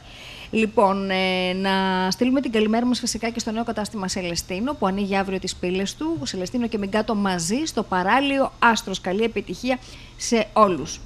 Ε, Και επειδή, ναι. επειδή βρισκόμαστε ίσως στην καλύτερη πόλη της Ελλάδος, Blue Blanc, Πρόσεξε τι θα πεις τώρα; Blue Blanc, Ναι, Blue Blanc, το καλύ- η καλύτερη πόλη της Ελλάδος. Ναύπλιο. Στο Ναύπλιο. Τι θέλεις Αλλά να θα πω; έχουμε γκρίνιε, γι' αυτό λέω. Ναι. Ε, τουριστική πόλη της Ελλάδας. λοιπόν, Blue Blanc ε, στην ε, Αρβανιτιά. Κοίταξε να δεις, ε, Βασίλη μου. Ε, εγώ έχω γεννηθεί στο Άργος. Ναι. Το αγαπώ, εννοείται, είναι η πόλη που γεννήθηκα. Ε, όταν όμως πρέπει να περάσω την είδηση ενός ε, τέτοιου χώρου, σαν το Blue Blanc, δεν μπορώ να αναφερθώ στο Άργος, θα αναφερθώ στο Ναύπλιο. Λογικό δεν είναι. Λοιπόν, ας φτιάξουν ένα Blue Blanc στη, στο Άργος. Ε, Μισό λεπτάκι. Δεν είχαμε το 15 Night Lab στο αργο Δεν μιλούσαμε για το. Ωραία. Τώρα το Blue Blanket στον Άφλο. Τι θες να κάνω; Λοιπόν, αρβανιτιά στον Άφλο, λοιπόν. Από το πρωί, all day, από το πρωί μέχρι αργά το βράδυ, αργά το βράδυ, πρώτες πρωινές ώρες μπορώ να σας πω, με υπέροχα κοκτέιλ, κάνουμε το μπάνιο μας. Οι ξαπλώστρες είναι εντελώς δωρεάν. Οι μεζέδες δεν υπάρχουν. Η κουζίνα είναι απίστευτα Ιταλικό ιταλική. μου είπες καινούργιο εστιατόριο εκεί. Και η μουσική πραγματικά συγκλονιστική. Ε, νομίζω ότι όλοι οι δρόμοι οδηγούν εκεί. Ε, ναι. Σου έλεγα πριν, Θα Αλεξία, ζεσταθεί και λιγάκι ο καιρός, θα ότι ζεσταθεί, τα μην δυόμιση νομίζεις. χρόνια αυτά δεν είδαμε κάτι να προωθείται, να προχωράει κτλ. Έκανα λάθος, ε, διότι μου στείλε μια πολύ καλή. Α, νομίζω ότι έχει πολύ μεγάλη σημασία. Μου στείλε ένα πολύ καλό θέμα ο Γιώργος Ορασιάς. Ο Γιώργος Ορασιάς, ο Γιώργος Ορασιάς που Ε, έχει μονίμως αδυναμία που στο Βασίλη τον... Που ε, δείχνει που έχουν επικεντρώσει το τη ζώο και δράση τους στέλνει τους, ειδήσεις. Που δείχνει που έχουν επικεντρώσει τη δράση τους οι κυβερνώντες, οι οποίοι φλερτάρουν ε, σε κάποιες περιπτώσεις με τον ανθεληνισμό. Και είμαι ακριβής στο πώς ε, το αναφέρω. Και Την θα σου- θα καλημέρα σου πω μας στον γιατί. Γιώργο το Στέρνα, στο Χαράλαμπο το Δάρα, στην Ανθέτη Κουτσουμπού, στη Μέρη τη Δάρα. Καλημέρα. Θα σου πω γιατί. Έχουμε λοιπόν ανακοίνωση σε πολύ υψηλού τόνους από την εταιρεία Ελλήνων Φιλολόγων. Κατά των προωθούμενων αλλα- αλλαγών του Υπουργείου Παιδείας στο μάθημα της ιστορίας που τις χαρακτηρίζει χαριστική βολή στο μορφωτικό υπόβαθρο των Ελλήνων. Ε, ουσιαστικά τι λένε, ότι για 3.500 χρόνια ελληνισμού, για 3.500 χρόνια ελληνικής ιστορίας θα έχουμε 9 μήνες με μια μονόρη διδασκαλία. Αναφέρουν λοιπόν, είναι λίγο μεγάλη ανακοίνωση, νομίζω όμως ότι είναι πολύ σημαντική για να Συγγνώμη, καταλάβουμε. σήμερα είναι της αναλήψεως. Ναι. Σήμερα είναι της αναλήψεως. Α, μάλιστα. Οι εμπορικοί σύλλογοι, δηλαδή τα εμπορικά καταστήματα δεν δουλεύουν σήμερα, είναι κλειστά. Δεν το γνωρίζω. Έτσι νομίζω, έχουν στην Αγία Μονή. Έτσι. Ναι, είναι νομίζω αυτές τις μέρες κάτι έχουν οι Πανηγυρική έμποροι. θεία Ναι. λειτουργία. Μάλιστα. Λοιπόν, η, ελληνική, η εταιρεία Ελλήνων Φιλολόγων λοιπόν ανα- ε, ε, τονίζει ελλειπέστατη και αποσπασματική γνώση της ελληνικής ιστορίας και μονομερή προσέγγιση μόνο κάποιων κοινωνικών και πολιτιστικών εξελίξεων του ιστορικού γίγνεσθε κατά την ιδεο, ιδεολειπτική επιλογή των προτινόντων. Κάνω εγώ το λογικό άλμα και λέω: Τα παιδιά δεν θα μαθαίνουν ελληνική ιστορία ή δεν θα μαθαίνουν την ιστορία του ελληνισμού, την αρχαία Ελλάδα, τους κλασικούς, όλα αυτά. Θα μαθαίνουν για την Οκτωβριανή Επανάσταση, για τον Πολσεβικισμό, για τον συνδικαλισμό, τέτοια πράγματα. Για τους τσιχαδιστές, για τον ISIS. λοιπόν, ταυτόχρονα οι Έλληνες γιατί, γιατί, αυτό το, φιλόλογοι... προ- γιατί το προσπέρασες. Βεβαίως, αυτά είναι σημερινή Εννοείται. ιστορία, θα τα Γιατί να γράφουμε. μην τη μάθουν όμως; Ταυτόχρονα οι Έλληνες φιλόλογοι, ανεβάζοντα περαιτέρω τους τόνους, υπογραμμίζουν. Μετά την υποβάθμιση του μαθήματος της ιστορίας στο Λύκειο, όπου διδάσκονται συνοπτικά και επιφανειακά σημαντικότατα κεφάλαια, όπως ο κυκλαδικός, μινοϊκό και μικυναϊκό πολιτισμός, ο πρώτος και δεύτερος απικισμός, η σημασία των Περσικών πολέμων, πολέμων ο Πελοποννησιακός πόλεμος, ο Φίλιππος ο δεύτερος και το Οικουμενικό κράτος του Μεγάλου Αλεξάνδρου, οι προτάσεις της Επιτροπής που συνέστησε το Υπουργείο Παιδείας, Έρευνας και Θρησκευμά- Θρησκευμάτων για το μάθημα της ιστορίας στην υποχρεωτική εκπαίδευση, αν τελικά, τελικά εφαρμοστούν, θα επιφέρουν τη χαριστική βολή στο μορφωτικό υπόβαθρο των Ελλήνων μαθητών. Πιο συγκεκριμένα αναφέρουν με την αντίληψη ότι πρέπει να αρθεί η πρωτοκαθεδρία της πολιτικής ιστορίας και η διδασκαλία να στραφεί αποκλειστικά στην κοινωνική, οικονομική, στην ιστορία του περιβάλλοντος και του κλίματος, στην τοπική ιστορία και στη μουσιακή εκπαίδευση, υποβαθμίζεται η διάκριση στις βασικές χρονικές περιόδους της ελληνικής ιστορίας και προκαλείται σύγχυση και αδυναμία στους μαθητές να εντάξουν τα γεγονότα και όλες τις εξελίξεις στον χρόνο. Παραβλέπεται όμως ότι η διδασκαλία των κοινωνικών, οικονομικών, πνευματικών και εν γέννη των πολιτισμικών εξελίξεων διευκολύνεται ουσιαστικά με την σαφή ένταξή τους στις βασικές χρονικές περιόδους και σε συνάφεια με τα πολιτικά γεγονότα που διαδραματίζονται σε αυτές. Συγκεκριμένα, για την διδασκαλία της μυθολογίας στην Τρίτη Δημοτικού, η Επιτροπή προτείνει η διδασκαλία των ελληνικών μύθων να γίνεται με αναφορές στους μύθους άλλων λαών, χωρίς μνήμα των πολιτικών, ιδεολογικών και πολιτισμικών διαδικασιών των προϊστορικών κοινωνιών. Η αντίληψη αυτή είναι άκρος αντιπαιδαγωγική, δεδομένου ότι χωρίς επαρκή γνώση της ελληνικής μυθολογίας αυτής καθ' αυτήν, αυτής καθ' αυτής, ο μαθητής των 8 ετών δεν έχει την αντιληπτική δυνατότητα να προχωρεί σε διαπολιτισμικούς συσχετισμούς. Έτσι, το μόνο που επιτυγχάνει η πρόταση αυτή είναι να προκαλεί την απέχθεια των μικρών μαθητών για ένα τόσο ευχάριστο για την ηλικία τους και πρόσφορο μάθημα όπως η ελληνική μυθολογία.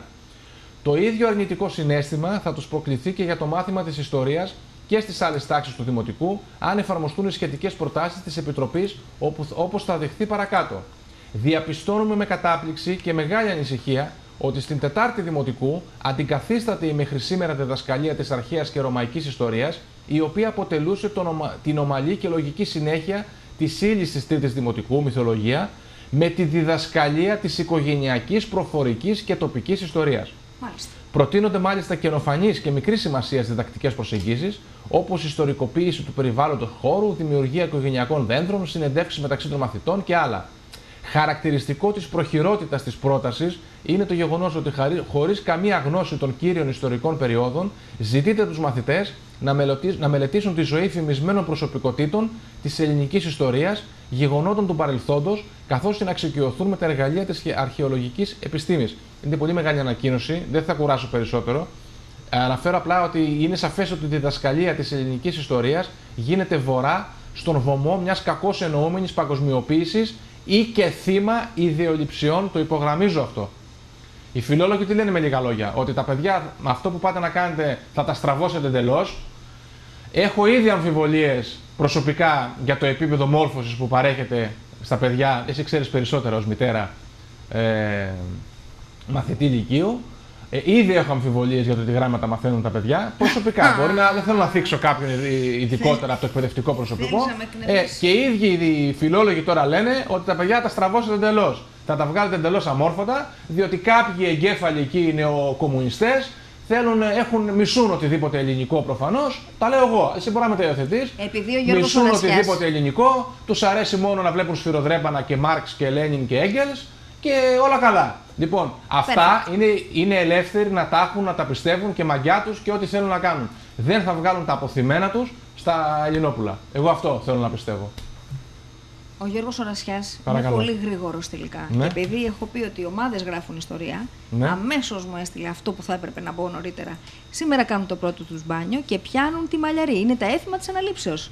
Ε, 40 ημέρες λοιπόν, λοιπόν συμπληρώνονται σήμερα από την ανάσταση έως και την ανάληψη του κυρίου. Η πέμπτη της αναλήψεως είναι η μέρα που ψάλεται για τελευταία φορά το Χριστός στην Εκκλησία. Είναι ο κύκλος του Πάσχα που κλείνει και φυσικά από τη λογογραφία μας δεν θα μπορούσαν να λείπουν τα ξεχωριστά ήθη και έθιμα της ημέρας.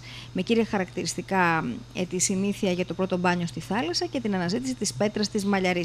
Κατά την πέμπτη της αναλήψεως, σε όποιο σπίτι έμειναν δάφνες λουλούδια από το Πάσχα, πρέπει να καούν.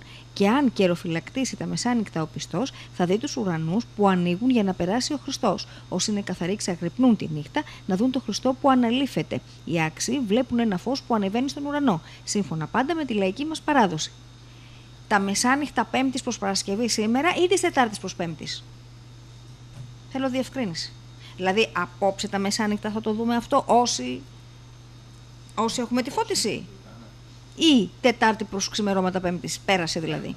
Ωραία. Θέλω διευκρίνηση από τον Γιώργο Τωρασιά, θα το βρει αμέσω θα μου απαντήσει. Λοιπόν, στη Λίμνο ονόμαζαν τη γιορτή της Αναλήψεως γαλατοπέφτη. Το γάλα της ημέρα αναλήψεω δεν το έπιζαν, αλλά το μοίραζαν σε φίλους και γνωστούς και όσο τους έμενε το έκαναν ριζόγαλο. Για το λόγο αυτό και επειδή η γιορτή της αναλήψεω ήταν πάντα ημέρα Πέμπτη και επειδή μοίραζαν το γάλα, το ονόμαζαν γαλατοπέφτη.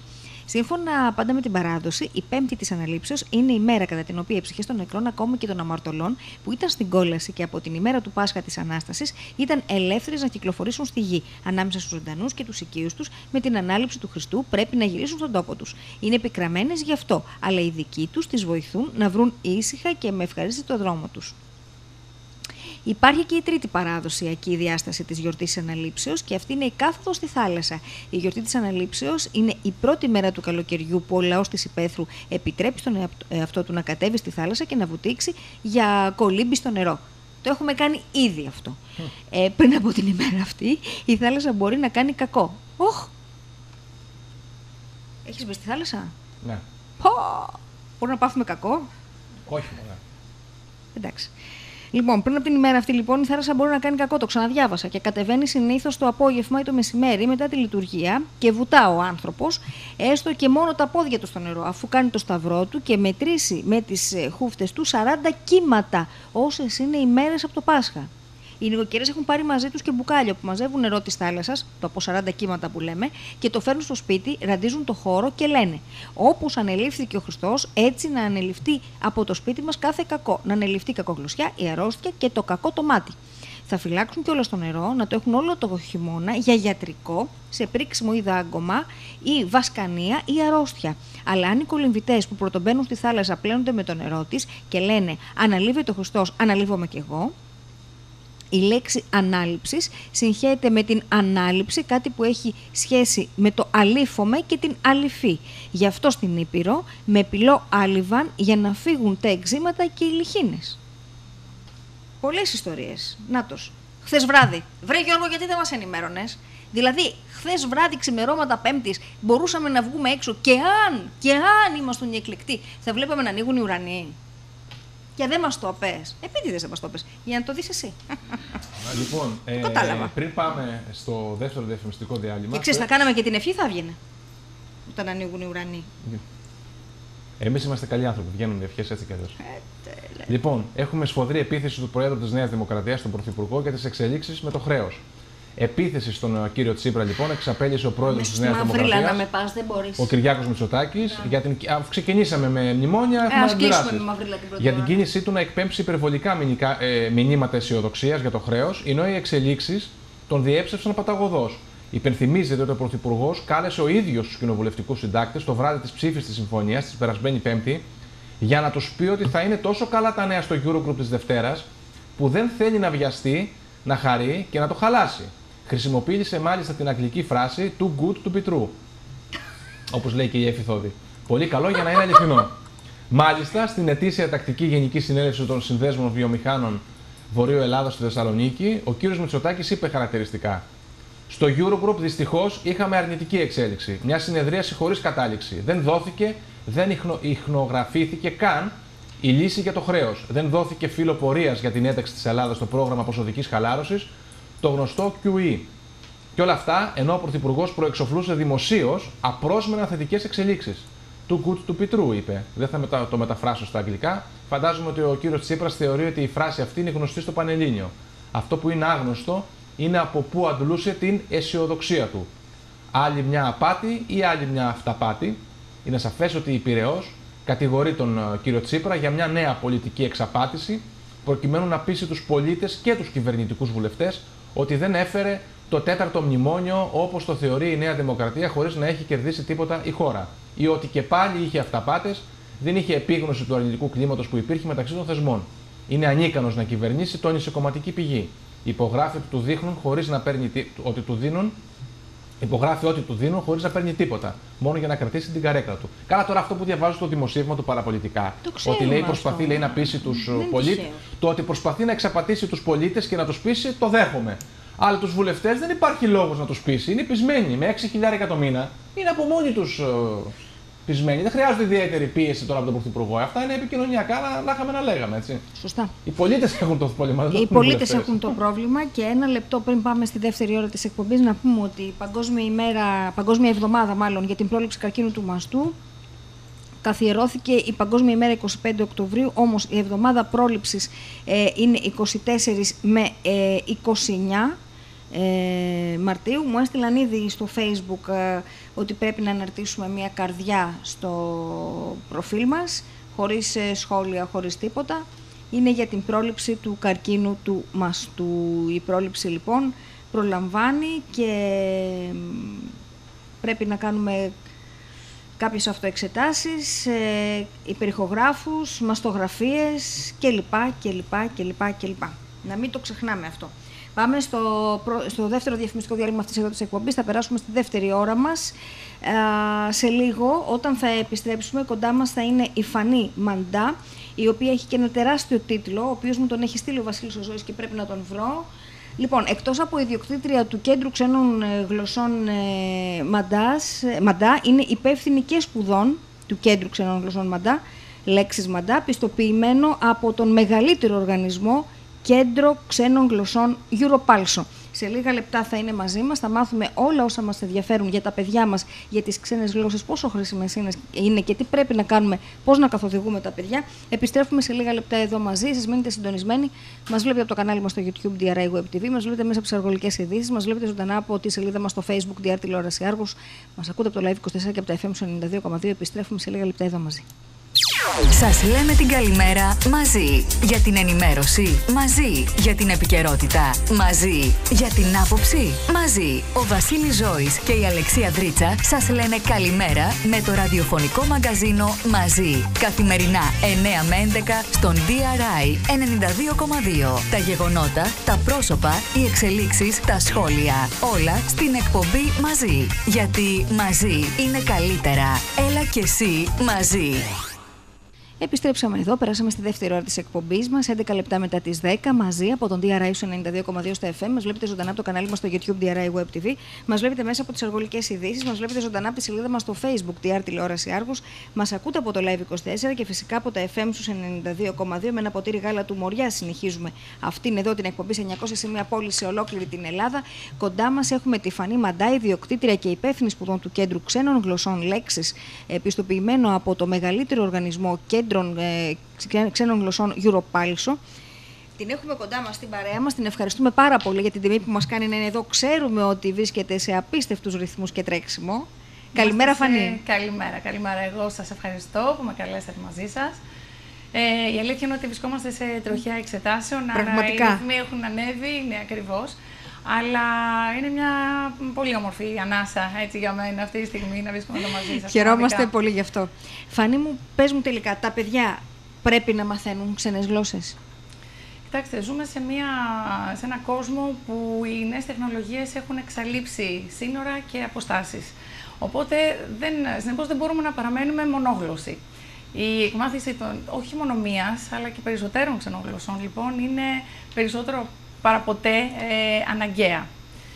Ε, σε πάρα πολλά επίπεδα. Ε, σε κοινωνικό επίπεδο. Το να μαθαίνεις μια ξένη γλώσσα δεν σημαίνει απλά μαθαίνω, γράφω, διαβάζω. Ε, σημαίνει μπαίνω σε ένα καινούριο κόσμο. Μαθαίνω, γνωρίζω ανθρώπους που σκέφτονται διαφορετικά, ε, άρα αυτό με βοηθάει να, είμαι, α, να επαναπροσδιορίσω τη στάση μου απέναντι στην, α, σε κοινωνικές συμπεριφορές, να κατανοήσω καλύτερα ε, ξένες συμπεριφορές, άρα να είμαι πιο ανεκτικός στη διαφορετικότητα. Ε, σε επαγγελματικό επίπεδο, νομίζω Για δεν να σε χρειάζεται να ξεχάσω να πούμε σου πω πολλά. ότι η μπλούζα σου γράφει τέλεια. Έτσι. Α, Αυτό ευχαριστώ. κοιτούσα τώρα και την έκανα κοντινό. Κοίταξε τι ωραία που είναι. Ε, Βασίλη. Ωραία. ε, τώρα σε επαγγελματικό επίπεδο νομίζω ότι αρκεί να, ανοίξουμε, να ρίξουμε ματιά σε μικρές αγγελίες για να δούμε ότι απαραίτητη προϋπόθεση σε οποιαδήποτε προσφορά εργασίας ε, είναι η Η γνώση ξένης ξένης γλώσσας. γλώσσας. Η επαρκής και ορισμένες φορές και άριστη γνώση ξένης γλώσσας. Ε, όσον αφορά τώρα την, ε, το επαγγελματικό επίπεδο, είναι, ε, είναι απαραίτητη η προϋπόθεση. Ε, είναι ο διάβλος επικοινωνίας και το κλειδί, το διαβατήριο για το μέλλον πραγμα- στην πραγματικότητα. Ε, τώρα με την μετακίνηση του φοιτητικού πληθυσμού, ε, αν δεν Αχ, γνωρίζουμε ξένες γλώσσες, πόσο είναι απαραίτητο σχεδόν είναι, αδύνατο πόσο να συμμετάσχουμε απαραίτητο. σε προγράμματα όπως το Erasmus, το Erasmus Plus που προσφέρει ε, θέσεις εργασίας στο εξωτερικό. Ε, στην ανώτατη εκπαίδευση ακόμα είναι πάρα πολύ σημαντικό. Δεν μπορούμε να κάνουμε ε, μεταπτυχιακό, ειδίκευση, εξειδίκευση, εκπόνηση κάποιας επιστημονικής διατριβής, αν δεν γνωρίζουμε τουλάχιστον μια ξένη γλώσσα, για να μπορέσουμε να τρέξουμε σε πηγές. Έτσι, είναι, είναι πα, απόλυτα απαραίτητη στις μέρες μας. Σε ποια ηλικία πρέπει τα παιδιά να ξεκινούν να μαθαίνουν ξένη γλώσσα; Κοιτάξτε, είναι γεγονός ότι μ, ε, σε προσχολική ηλικία τα παιδιά έχουν μια έμφυτη ικανότητα να αναπαράγουν ε, ήχους ε, και να αφομοιώνουν πολύ εύκολα. Τύπου με σφουγγάρι μεγάλη- αυτό που λέμε. Ε, ακριβώς, ακριβώς. Και να αφομοιώνουν με μεγάλη ευκολία ε, ε, ήχους. Ε, ωστόσο, δεν θα έπρεπε σε αυτήν την ηλικία να ενταχθεί ε, σε τύπο μαθήματος. Ε, α, θα μπορούσε να γίνει μια προσέγγιση και μια εξοικείωση με την ξένη γλώσσα, ε, ακόμα και μέσα από την οικογένεια. Δεν είναι απαραίτητο δηλαδή να ενταχθούν σε κάποιο μαθησιακό έτσι, πλαίσιο. Ε, και η οικογένεια θα μπορούσε, γιατί είναι πάρα πολύ σημαντικό να εξοικειωθούν από, και από την προσχολική ηλικία, ε, μέσα από παιχνίδι, μέσα από τραγούδια, ε, μέσα από παιχνίδι με κάρτες, όπου μπορούν τα παιδιά να συνδυάζουν ε, ήχο με εικόνα, τη λέξη με την εικόνα, να την αναγνωρίζουν, να την αναπαράγουν. Ε, με ταξίδια στο εξωτερικό, όσο εύκολο Όσο μπορεί να εύκολο είναι είναι αυτό πλέον, τώρα, πλέον. βεβαίως, πλέον ακριβώς. Ε, όμως αυτό που μου λες με πάει και σε κάτι άλλο, ενώ ήθελα να κάνω μια άλλη ερώτηση, θέλω να σου πω το εξής. Επειδή τα παιδιά από μικρή ηλικία μπορούν και αφομοιώνουν γλώσσες ήχους.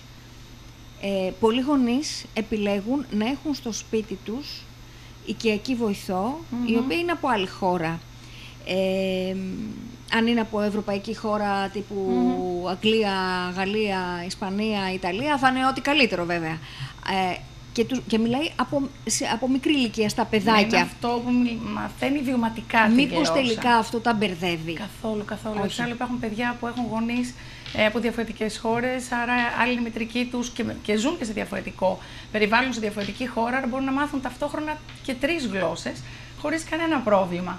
Ε, ωστόσο, το, το εκπαιδευτικό μας σύστημα έχει εντάξει την, ε, ε, την εκμάθηση της, ξεν, της πρώτης ξένης γλώσσας την πρώτη δημοτικού, στα σχολεία που λειτουργούν πιλωτικά, το πρόγραμμα εκμάθησης ξένων γλωσσών, και τη δεύτερη ξένη γλώσσα στην, ε, στην πέμπτη δημοτικού, που θεωρώ ότι είναι ιδανική ηλικία. Ε, να σας ρωτήσω λίγο. Ε, ποιες είναι οι πιο εκ των πραγμάτων δημοφιλείς ε, ξένες γλώσσες υπό την έννοια της, ε, και της αναγκαιότητας ενδεχομένως για τις επόμενες δεκαετίες γιατί φαντάζομαι κάποιος όταν ξεκινάει να μάθει μια γλώσσα από μικρή ηλικία και δεν Ναι. οδηγείται από τις καταστάσεις μεγαλύτερος να τη μάθει, έτσι. Αντιλαμβάνεστε. Ναι, συμβαίνει και αυτό. Συμβαίνει Έχουμε και πάρα αυτό, πολλούς σαφέστατα. ενήλικες.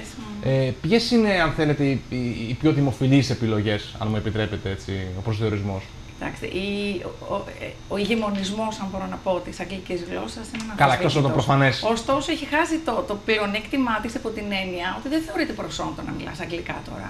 Είναι δεδομένο. Αυτονόητο. Έτσι, είναι αυτονόητο και δεδομένο ακριβώς. Άρα, ε, μ, η ζήτηση της άλλης γλώσσας είναι ε, η γαλλική. Ε, έχει ανέβει δυναμικά τώρα τα τελευταία χρόνια. Α μην ξεχνάμε ότι 160 εκατομμύρια σε όλο τον κόσμο μιλάνε γαλλικά, δεν είναι μόνο η Γαλλία. Α μην ξεχνάμε τη γαλλοφωνία, ε, χώρε όπως η Βόρεια Αφρική. Βόρεια Αφρική. Ακριβώς.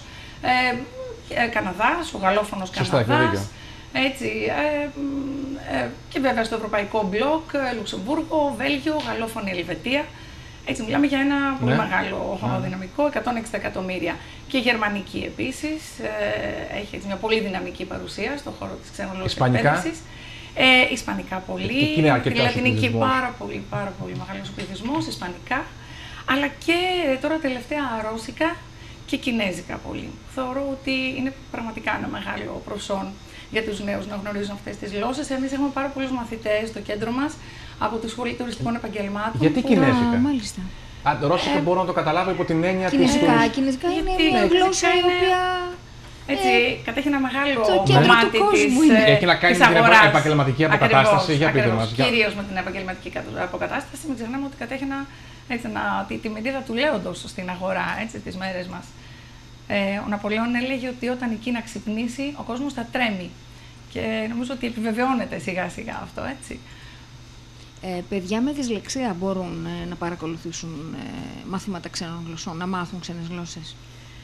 Βεβαίως και παιδιά με δυσλεξία, μαθησιακές δυσκολίες γενικότερα, βεβαίως και μπορούν να μάθουν. Φτάνει να μην, ε, να μην είναι σε ένα α, αυστηρά έτσι, μαθησιακό πλαίσιο, να γίνεται μια πιο ήπια προσέγγιση, αρχικά μέσα από παιχνίδι, μέχρι να κατανοήσει ο μαθητής την ανάγκη ε, του να μάθει την ξένη γλώσσα και να αρχίσει να την απολαμβάνει. Ισχύει και σε αυτή την Και περίπτωση βεβαίως- το νεαρό της ηλικίας, όσο πιο νωρίς τόσο πιο καλά; Ή όχι. Ε, μ, και εκεί το ίδιο βεβαίως. Ένας Μμμ. μαθητής με Νωρίς, μαθησιακέ δυσκολίες εκεί. δεν αποκλείεται από την ε, βιωματική μάθηση, βεβαίως.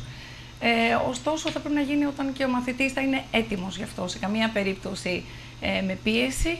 Ε, και βέβαια, μόνο όταν βλέπουμε ότι ο μαθητής πραγματικά το απολαμβάνει, γιατί μην ξεχνάμε ότι βασικό κομμάτι της εκμάθησης της ε, ξένης γλώσσας είναι η χαρά της μάθησης.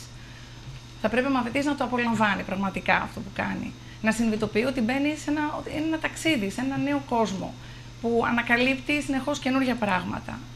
Ε, άνθρωποι που ή, πέ- πέρασαν τα χρόνια και ενδεχομένως δεν, ήταν- δεν είναι σε ηλικία που είναι τόσο δεκτικός, ενδεχο- ε, ε, δεκτικοί ίσως να μάθουν με ταχύτητα μια Ναι. ξένη γλώσσα. Παρ' όλα αυτά όμως επιθυμούν να μάθουν μια γλώσσα. Ενδεχομένως να μην γνωρίζουν κάποια ξένη γλώσσα ή γνωρίζουν μία, αλλά βλέπουν όπως είπατε κι εσείς ότι χρειάζεται είτε τους αρέσει, την ακούν ωραία, είτε η ανάγκη τους οδηγεί να μάθουν μια ξένη γλώσσα. Πόσο φυκτό είναι, ας πούμε για παράδειγμα, εγώ είμαι κοντά στα 40, έτσι, με 37-38 χρονών. Ε, μιλάω, θεωρώ πολύ καλά και γράφω αγγλικά και θέλω να μάθω ε, Ισπανικά, ιταλικά, γαλλικά. ισπανικά. Μπορώ ή θα και, απογοητευτώ. βέβαια, και βέβαια, σε καμία περίπτωση υπάρχουν, ε, υπάρχουν ειδικοί, ειδικά βιβλία ε, με ειδικές μεθόδους ε, που είναι προσαρμοσμένες στα ενδιαφέροντα των ενηλίκων, άρα είναι, είναι και μια πολύ ευχάριστη διαδικασία. Κρατάει σε γρήγορο στον εγκέφαλο.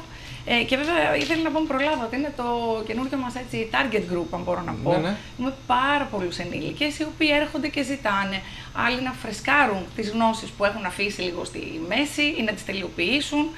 Ε, μα άλλοι ζητάνε άμεση επιστοποίηση και θέλουν να κάνουν μάθημα και να έχουν και επιστοποίηση σε πολύ συγκεκριμένο χρονικό διάστημα, ε, γιατί το χρειάζονται σε προκηρύξεις. Ε, άρα πραγματικά υπάρχει ένα πολύ μεγάλο Μαθαίνουν ενδιαφέρον. όμως. Καταλαβαίνετε το Βεβαίως. νόημα έτσι. Δηλαδή, Ε, φαντάζομαι έχουν τώρα ένα ότι εγώ δεν πλεονέκτημα μπορώ να μάθω εκεί. μια δεύτερη ξένη γλώσσα μέσα σε δύο-τρεις μήνες. Να Μπορεί να μην μιλάω, να έχουν. συνεννοούμε, να Ναι. γράφω, να διαβάζω. Ε, Υποθέτω, δεν όχι, ξέρω, όχι, θα μου πείτε όχι. εσείς. Ε, εδώ δεν ισχύει αυτό, γιατί μπορεί ο ενήλικας Ναι. ε, να, να υστερεί λίγο σε αυτό που λέμε στην αφομοίωση, στην ικανότητα αφομοίωσης. Ε, Ενδεχομένως και η μνήμη εκεί παίζει λίγο το ρόλο της, έτσι, μας αρχίζει και μας εγκαταλείπει μετά από κάποια ηλικία. Ε, σίγουρα ε, παίζει σημαντικό ρόλο και αυτό. Ωστόσο, η αντίληψη που έχει ο ενήλικας Ναι. τον βοηθάει να κατανοήσει καλύτερα τις δομές της ξένης γλώσσας και να τις αφομοιώσει με τον δικό του τρόπο. Είναι καλύτερα να γνωρίζει ήδη μια ξένη γλώσσα; Σίγουρα είναι πολύ βοηθητικό.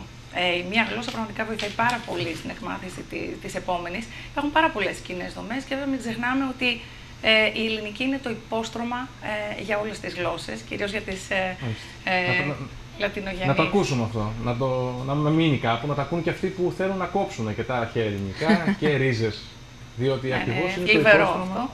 Είναι Ναι, θλιβερό. αυτό είναι θλιβερό, αλλά τίνει να γίνει πραγματικότητα, να Ναι, ναι, καταστεί ως ακριβώς. Πραγματικότητα. Βρισκόμαστε σε περίοδο εξετάσεων των ε, μαθητών, όχι μόνο στα σχολεία, αλλά και στις ε, ξένες γλώσσες. Πρέπει να συμμετέχουν τελικά στις εξετάσεις οι μαθητές. Είναι πάρα πολύ σημαντική ε, η συμμετοχή στις εξετάσεις γιατί δίνει απαντήσεις σε πολλά ερωτήματα. Ε, στους μαθητές τους ίδιους που αναρωτιούνται αν οι προσπάθειές τους είναι αρκετές. Ε, είναι αρκετή προσπάθεια που κάνω ή μήπως πρέπει, θα κατα- πρέπει να καταβάλω ε, μεγαλύτερη επιμέλεια, μεγαλύτερη προσπάθεια για να πετύχω το στόχο μου. Ε, απαντάς στους γονείς ε, για το αν, ε, μ, ε, αν η, η μάθηση που του προσφέρει είναι αποτελεσματική, αν ο μαθητής έχει κατακτήσει αυτή, γν- τις γνώσεις που του παρέχονται. Ε, μ, αλλά και για, τους, ε, και για τους καθηγητές τους ίδιους ε, είναι μια επιβεβαίωση για τις ε, μεθόδους που έχουν ε, υιοθετήσει. Ε, βλέπουν λοιπόν να διαπιστώνουν αν είναι αποτελεσματικές ή όχι, αν πρέπει να αλλάξουν κάτι, να το προσαρμόσουν διαφορετικά. Πες μου κάτι. Εμείς συμμετέχουμε, ε, αυτό το Σαββατοκύριακο, συγγνώμη, έχουμε, ε, συμμετέχουμε Ναι. στις εξετάσεις ε, Europulso Έτσι. για τα επίπεδα ε, Stars 1, Stars 2, ε, Beginners, Elementary και Basic. Επίσης για όλα τα επίπεδα ε, B1, D2, C1, C2. Ε, είναι οι πιο αδιάβλητες εξετάσεις ε, ESB, είναι οι πλέον αδιάβλητες εξετάσεις. Έχω φέρει και ένα φυλάδιο για Αυτό να δείτε ήθελα να- όλα τα χαρακτηριστικά. Να που πούμε για τη πραγματικά- διεξαγωγή των εξετάσεων. Ακριβώς, που πραγματικά Να την πούμε δύο λόγια. καθιστούν, α, καθιστούν μοναδική ε, και κορυφαία πιστοποίηση από τον κορυφαίο, κορυφαίο ε, οργανισμό πιστοποι... βρετανικό οργανισμό πιστοποίησης. Να πούμε λοιπόν ότι οι εξετάσεις διεξάγονται σε ολόκληρη την Ελλάδα δύο φορές το χρόνο, στα επίπεδα B1, B2, C1, C2. Πληρούν όλες τις προδιαγραφές ποιότητας και αδιάβλητης διεξαγωγής, όπως είπες Φανή. Επιβλέπονται από υπεύθυνο δημόσια σχολικής μονάδας, διευθυντή Ακριβώς. γυμνασιάρχια, αρμόδιο από δευτεροβάθμια εκπαίδευση. Εποπτεύονται από εκπροσώπους του ESB που βρίσκονται κατά τη διάρκεια της διεξαγωγής στα εξεταστικά κέντρα, ώστε να ελέγχουν τα αδιάβλητα και την απρόσκοπτη διενέργεια των εξετάσεων. Πραγματοποιείται συνεχής εκπαίδευση του προσωπικού των εξεταστικών κέντρων, υπεύθυνοι, τομεάρχες, επιτηρητές, εξεταστές προφορικών από εκπροσώπους του φορέα. Παρέχεται συνεχής ενημέρωση και εκπαίδευση των ιδιοκτητών, των καθηγητών και των υποψηφίων από ειδικά εκπαιδευμένα άτομα του Πανεπιστημίου. Υποχρεωτική εξέταση και στις τέσσερις βασικές δεξιότητες που απαιτούνται σύμφωνα με το κοινό ευρωπαϊκό πλαίσιο Reading, Writing, Listening και Speaking.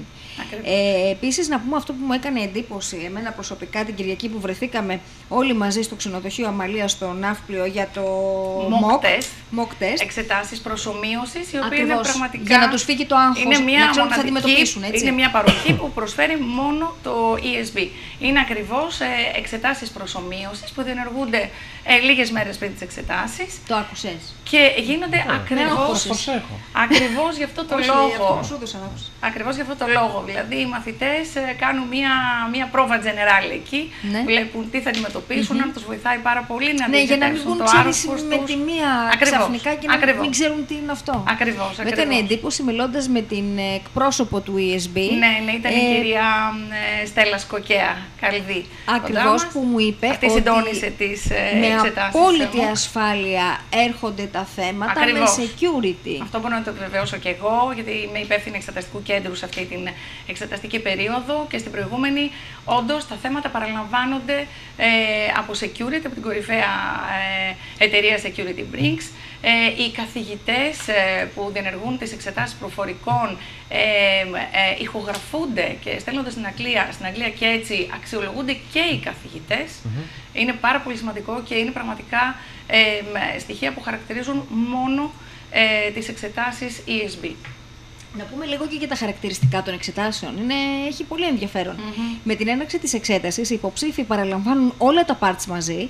Δεν υπάρχει διάλειμμα μέχρι τη λήξη, λήξη της εξεταση η οποία ξεκινάει με το listening. Στη συνέχεια, οι υποψήφοι επιλέγουν οι ίδιοι τη σειρά και το χρόνο που θα αφιερώσουν για κάθε part. Το listening ακούγεται δύο φορές, είναι πάρα πολύ, Πολύ σημαντικό, σημαντικό. αυτό.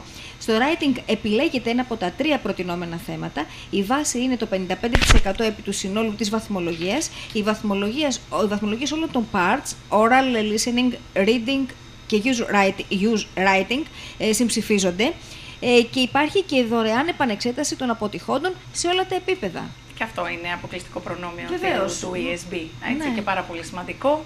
Ε, είναι μια προσφορά Ειδικά στην και μια εποχή που στήριξη είμαστε, στις είναι οικογένειες, το μόνο ακριβώς, σίγουρο. μαθητές και στις οικογένειές τους Σίγουρα. που πλήττονται τόσο πολύ στις μέρες Εχθές μας. είχα μία συζήτηση με μία πολύ καλή φίλη, η οποία μου είπε ότι στη δική της εποχή, είναι μεγαλύτερη, είναι γύρω στα 40, ε, έδωσε δύο μαζί, γιατί φοβήθηκε την αποτυχία. Ναι. Έδωσα, μου λέει, και Michigan και Cambridge. Συμβαίνει αυτό αρκετές Γίνεται φορές. αυτό; Το χρησιμοποιούν ω μια δικλίδα ασφαλείας. Ναι. Επιλέγουν ένα Αν χάσω φορέα το ένα, και... τουλάχιστον. Ακριβώς, ένα- ναι. ακριβώς. Γίνεται και αυτό, γίνεται ακόμη και σήμερα; Ε, ε, λίγο λιγότερο τώρα, γιατί οι οικονομικές Ε, ε, βεβαίως, ε, βεβαίως. συνθήκες Βεβαίως. δεν το επιτρέπουν αυτό. Φανή, πες μου, υπάρχουν και τμήματα ενηλίκων στο Βεβαίως, είναι αυτό που κέντρο έλεγα με ξενών τον, γλωσσών. με τον Με Στο συγχωρείτε, διευρυμένο βεβαίως. target group. Δεν- πλέον. Ακριβώς, ακριβώς. Τμήματα ενηλίκων και βέβαια υπάρχει και στοχευμένη εκπαίδευση ε, για management, τουριστικές επιχειρήσεις, ε, εστίαση, Για ορολογία τουρισμό, ενδεχομένως. ακριβώς με Α, πιο ναι, ναι, ναι. εξειδικευμένη Αυτά τα- ορολογία. ναι, ναι, ναι. Ακριβώς. Ναι. Με ειδικές μεθόδους που ε, ειδικεύονται έτσι σε, σε Μου- κάθε μου- τομέα. Μου έλεγε φίλος κυβερνήτης ότι το aviation English, ας πούμε για παράδειγμα, υπάρχουν Βρετανοί Ακριβώς. οι οποίοι δεν το καταλαβαίνουν, που είναι εξειδικευμένο για τους του πιλότους για παράδειγμα. Ε, βέβαια. Ε, Και η ιατρική, βεβαίως. Ήθελα να σας ρωτήσω, ε, γιατί το κουβεντιάζαμε με την Αλεξία. Γνωρίζω εγώ ανθρώπους, φαντάζομαι τα ξέρετε κι εσείς, που έχουν τίτλο σπουδών, δηλαδή έχουν πάρει proficiency κτλ. Λέω και την αγγλική, δεν ξέρω Ναι. για. Αλλά στην ουσία, έχουν, παρόλο που έχουν τους τίτλους και έχουν περάσει επιτυχώς εξετάσεις, για κάποιους λόγους είναι κάπως κομπλεξαρισμένοι και δεν μιλάνε καλά. Είτε μιλάνε καλά, είτε δεν καταλαβαίνουν, ή φοβούνται να μιλήσουν. Ή ντρέπονται. Α, Ή ντρέπονται, ή τέλος πάντων, ενώ υποτίθεται ότι έχουν τα ηχέγγυα πραγματικά να παρακολουθήσουν, τελικά έχουν τα τυπικά, αν θέλετε, Προσόντα. προσόντα, αλλά δεν. Τι κάνουν λάθος; Ε, Προφανώς δεν έχουν μάθει να επικοινωνούν, να χρησιμοποιούν τη γλώσσα σαν εργαλείο. Δεν έχουν μάθει ίσως σε, σε ένα στήρο ε, έτσι, πλαίσιο. Ε, εδώ θα επιμείνω πάρα πολύ. Λοιπόν, και εδώ Ναι. ερχόμαστε στο κομμάτι ιδιαίτερα η τμήμα. Ε, αυτό λοιπόν είναι κάτι που μαθαίνουν τα παιδιά να κάνουν μέσα από την ομαδοσυνεργατική ε, μάθηση. Από τη συνέργεια και την ε, ομαδική διδασκαλία. Να επικοινωνούν δηλαδή. Ακριβώς. Χρησιμοποιούν τη γλώσσα ως εργαλείο. Ε, μαθαίνουν να επικοινωνούν με τους μαθητές τους, ε, μαθαίνουν να αναπτύσσουν τα Να μην επιχειρήματά φοβούνται το τους, λάθος να μην ενδεχομένως. φοβούνται ακριβώς, να μην φοβούνται το λάθος, να αναπτύσσουν τα επιχειρήματά τους μέσα από την ξένη γλώσσα, να τα στηρίξουν, ε, να αντικρούσουν επιχειρήματα. Όλα αυτά είναι πάρα πολύ ε, σημαντικά. Και βεβαίως επιτυγχάνονται μόνο μέσα από την επικοινωνία και όχι, και εδώ θα σταθώ λίγο χωρίς να θέλω, ε, να, θέλω να σταθώ μακριά από αφορισμούς, αλλά θα ήθελα να σταθώ λίγο στα ιδιαίτερα. Ε, Ναι, βεβαίως- τελικά ιδιαίτερα ή ομαδικά. Βεβαίως, περισσότεροι ναι, στα γονείς- ιδιαίτερα. Γιατί Αλλά- περισσότεροι γονείς τι κάνουμε. Βάζω και τον εαυτό μου μέσα. Ε, επειδή ο χρόνος είναι πολύ περιορισμένος, τρέχουμε στις δουλειές, θεωρούμε ότι με το να φέρουμε έναν άνθρωπο στο σπίτι έχουμε λύσει το πρόβλημα. Ε, Πολύ επειδή, λάθος. είμαι- επειδή έχω πάθει, εσύ το ξέρεις καλύτερα, ε, μ, τελικά εγώ προσωπικά είδα ότι αυτό ήταν τεράστιο λάθος όσον αφορά τουλάχιστον την ε, ξένη γλώσσα. Ε, πόσο βοηθάει αυτό και μήπως τελικά δεν θα πρέπει από την αρχή να ξεκινάμε τα παιδιά έτσι και να τα πηγαίνουμε κατευθείαν στα ομαδικά για να κοινωνικοποιούνται, να είναι και το θέμα του ανταγωνισμού. Ακριβώς. Έτσι, να το πάμε και... Καταρχήν, να ξεκινήσουμε από το εξής, ότι η, η, η, μα- η εκμάθηση της ξένης γλώσσας στηρίζεται στην επικοινωνία. Άρα αυτό δεν μπορεί να, να το πετύχουμε μέσα από ένα ε, στήρο, Εγώ και εσύ. Ακριβώς, ε, μάθημα ε, με τον καθηγητή Ιδιαίτερο, απλά. ναι, ναι, ναι. Βεβαίως ε, τα ιδιαίτερα δεν, ε, δεν θέλω όπως είπα να περάσω τα φορίζουμε, χωρισμούς. ναι, Ακριβώς, εντάξει. βεβαίως ναι στα ιδιαίτερα για συγκεκριμένους λόγους, ε, για συγκεκριμένους μαθητές με ειδικούς στόχους. Ας φέρω για παράδειγμα, εγώ έχω μαθητές ενήλικες, οι οποίοι λόγω του στενού και ε, ε, πολύ πιεσμένου ε, χρονικού τους περιθωρίου, ε, δυστι- ωραρίου, ε, δυστυχώς ε, έχουν ώρες πολύ Για ενήλικες συγκεκριμένες μιλάς τώρα. για ενήλικες ω επιτοπλίστων που δεν τους επιτρέπει να ενταχθούν σε τμήμα. Ε, έχω μαθήματα, ας πούμε, 7 με 8 το πρωί ε, ή 10 με 11 το βράδυ. Αυτοί οι μαθητές λοιπόν ε, θέλουν πάρα πολύ να μάθουν μια ξένη γλώσσα, αλλά δυστυχώς δεν μπορούν να ενταχθούν ε, Σε σε, ένα τμήμα. κάποιο τμήμα λόγω του, των, Της ώρας. Της ώρας, ακριβώς. Όσον αφορά τα παιδιά, Ε, τώρα για τα παιδιά δεν το συζητάμε ότι, ε, μα, όπως και το μαγκαζίνο σας λοιπόν, πληροφορούμαστε καλύτερα μαζί, ενημερωνόμαστε καλύτερα μαζί ε, και εμείς λοιπόν στη μάθηση στηρίζουμε πάρα πολύ αυτό το μαζί. Μαθαίνουμε καλύτερα μαζί. Μαθαίνουμε καλύτερα σε μια οργανωμένη τάξη, ε, με μια πιστοποιημένη μέθοδο διδασκαλίας, ε, με δοκιμασμένες ε, μεθόδους, ε, αξιολογούμαστε πάρα πολύ συχνά, βλέπουμε πού βρισκόμαστε, τι έχουμε κατακτήσει, ποιος θα είναι ο επόμενος στόχος μας, πού μπορούμε να φτάσουμε. Ε, μην ξεχνάς, Αλεξία μου, ότι όταν ρώτησα ε, σε ποιο επίπεδο βρίσκεστε, ε, δεν ξέρετε να απαντήσετε. ιδέα. Ε, έτσι, ε, ήταν Και σε κάθε μια- καθηγήτρια κάτι που πολύ ερχόταν, τα δικά της συγκεκριμένο. μαθήματα. Η Ακριβώς, μία ήταν κάτι Cambridge, η άλλη πολύ Michigan. συγκεκριμένο. Ναι, ναι. Είναι πάρα πολύ συγκεκριμένο ε, να ξέρουμε σε ποιο επίπεδο βρισκόμαστε, να, στε- να, ε, να, ε, να, έχουμε, το, να βάζουμε τον, να θέτουμε τον επόμενο στόχο μας ε, για να μπορέσουμε να φτάσουμε στην, ε, να ξεκινήσουμε καταρχήν από την αγάπη της γλώσσας, ε, να περάσουμε στην κατάκτηση της γλώσσας και στην τελειοποίησή της. Μάλιστα. Άρα ανεπιφύλακτα, όπως κατάλαβες. Άρα, Βασίλη ανεπιφύλακτα, μου. ναι. Εξάλλου, τα παιδιά έχουν ανάγκη ε, να βρεθούν στο τμήμα, να ανταλλάξουν απόψεις, να χρησιμοποιήσουν τη γλώσσα σαν εργαλείο και όχι μέσα από μια στήρα διαδικασία, διαβάζω, γράφω. Έτσι. Μου είπε αυτό, Δεν είναι προχωράω μόνο στο αυτό. πιο κάτω. Ακριβώς. Πάντως και το θέμα του ανταγωνισμού θεωρώ ότι παίζει πάρα πολύ μεγάλο ρόλο. Ε, τα παιδιά διαγωνίζονται και μεταξύ τους. Ακριβώς. Ε, γιατί εγώ, γιατί Έχουν αυτός και την όχι ανάγκη εγώ. της βέβαια. επιβράβευσης, ε, έτσι, Απόλυτα. ακόμα και της επιβράβευσης, Απόλυτα. της Επινοούν τρόπους. Το τετράδιο αυτό επικοινωνίας που έχει το λέξισμαντα, υπάρχει ένα τετράδιο επικοινωνίας μεταξύ ε, καθηγητή, μαθητή, γονέα. Είναι ο διάβλος επικοινωνίας Τρομερό. μεταξύ μας. Γράφει την παρατήρηση ο καθηγητής, τη φέρνει το παιδί στο σπίτι, λαμβάνουμε γνώση, υπογράφουμε. Ξέρεις πόσο σημαντικό είναι όταν ο Γιώργος μου... Κοίτα μαμάτι μου έγραψε, ε, πολύ καλό σήμερα. Καλός, δεν μ' άρεσε, κάτι έχω κάνει λάθος. Έχουμε τόσο ανάγκη Είναι- την επιβράβευση Είναι, όλοι. είναι όταν- αλήθεια. Σε κάθε μας προσπάθεια. Είναι αλήθεια. Έτσι. Ε, είναι πάρα πολύ σημαντικό και να πούμε ότι το Κέντρο Ξενογλωσσών Λέξης είναι επιστοποιημένο από τον ε, κορυφαίο οργανισμό, όπως ε, είπες και εσύ Αλεξία μου, ε, Europalso, που σημαίνει ότι ε, το μάθημα γίνεται σε ένα ε, πολύ ε, δοκιμασμένο και πετυχημένο πλαίσιο ε, σπουδών, ε, που σημαίνει ότι οι καθηγητές μας ε, είναι πιστοποιημένοι, εξειδικευμένοι αν χρειάζεται για, μαθη, για μαθητές με μαθησιακές δυσκολίες, ε, αξιολογούνται συνεχώς και οι καθηγητές, συμμετέχουν συνεχώς σε σεμινάρια, ε, άρα ενημερώνονται γιατί η γλώσσα είναι κάτι ζωντανό, εξελίσσεται διαρκώς, δεν μπορούμε να μένουμε πίσω στις, ε, πρέπει να ακολουθούμε τις εξελίξεις. Εξελίξεις βεβαίως. Και βεβαίως συμμετέχουν ε, σε εξετάσεις κύρους όπως είναι οι εξετάσεις ESB. Βεβαίως είμαστε ανοιχτοί και σε άλλους φορεί, αλλά είναι αλήθεια ότι τα πλεονεκτήματα που προσφέρει το, το ESB και ο οργανισμός ο Europalso είναι, ε, δίνουν ένα σαφές προβάδισμα και έχουμε ε, μια εξαιρετικά μεγάλη συμμετοχή. Σαββατοκύριακο έχουμε εξετάσεις. Σαββατοκυριακό εξετάσεις λοιπόν. Ε, καλή επιτυχία να ευχηθούμε καλή σε όλους. Επιτυχία, βεβαίως, βεβαίως. Λιγότερο άγχος. Τώρα πια τα παιδιά ξέρουν τι θα αντιμετωπίσουν. Ήταν πάρα πολύ Ακριβώς, σημαντική η προσωμείωση. Πολύ Ήταν πολύ έτοιμοι, σημαντική. Ε, εμπιστοσύνη στις δυνάμεις τους λοιπόν και αισιοδοξία. Ε, Μία εύχομαι να συμβολή, κατακτήσουν- μια συμβουλή στους γονείς θέλω να δώσεις. Που να μην αγχώνουν τα μεταδίδουν παιδιά. το άγχος τους. Αλεξία, φαίνεται αυτό. Να μην μεταδίδουν το άγχος τους, γιατί νομίζω ότι είναι, λειτουργούν σαν συγκοινωνούν τα δοχεία λοιπόν και πραγματικά το άγχος των γονιών το αντιλαμβάνονται οι μαθητές και πραγματικά το Και μην έρχεσαι αναπαράγουν. μαζί μου και φύγε πιο πέρα. Σε αυτή την Έτσι, κατάσταση. Ωστόσο, η στήριξη έτσι. από τους γονείς είναι πάρα πολύ σημαντική. Ε, Εδώ θα ήθελα να πω, ε, να μιλήσω έτσι, να απευθύνω ένα χαιρετισμό και στον πρόεδρο του συνδέσμου ε, Europulso, τον κύριο Γιώργο Ζικόπουλο, ο οποίος είναι ένας ε, νέος άνθρωπος ε, με όραμα και με πάρα πολύ πρωτοπόρες ε, έτσι, ιδέες. Ε, στηρίζει πάρα πολύ ε, και τους γονείς, ε, τα κέντρα ξένων γλωσσών βεβαίως, ε, τα πιστοποιημένα και τους ε, γονείς. Ε, ε, ε, να πω ότι υπάρχει ε, διανέμουμε ένα περιοδικό ε, που λέγεται ε, ε, Γονείς, το Parents.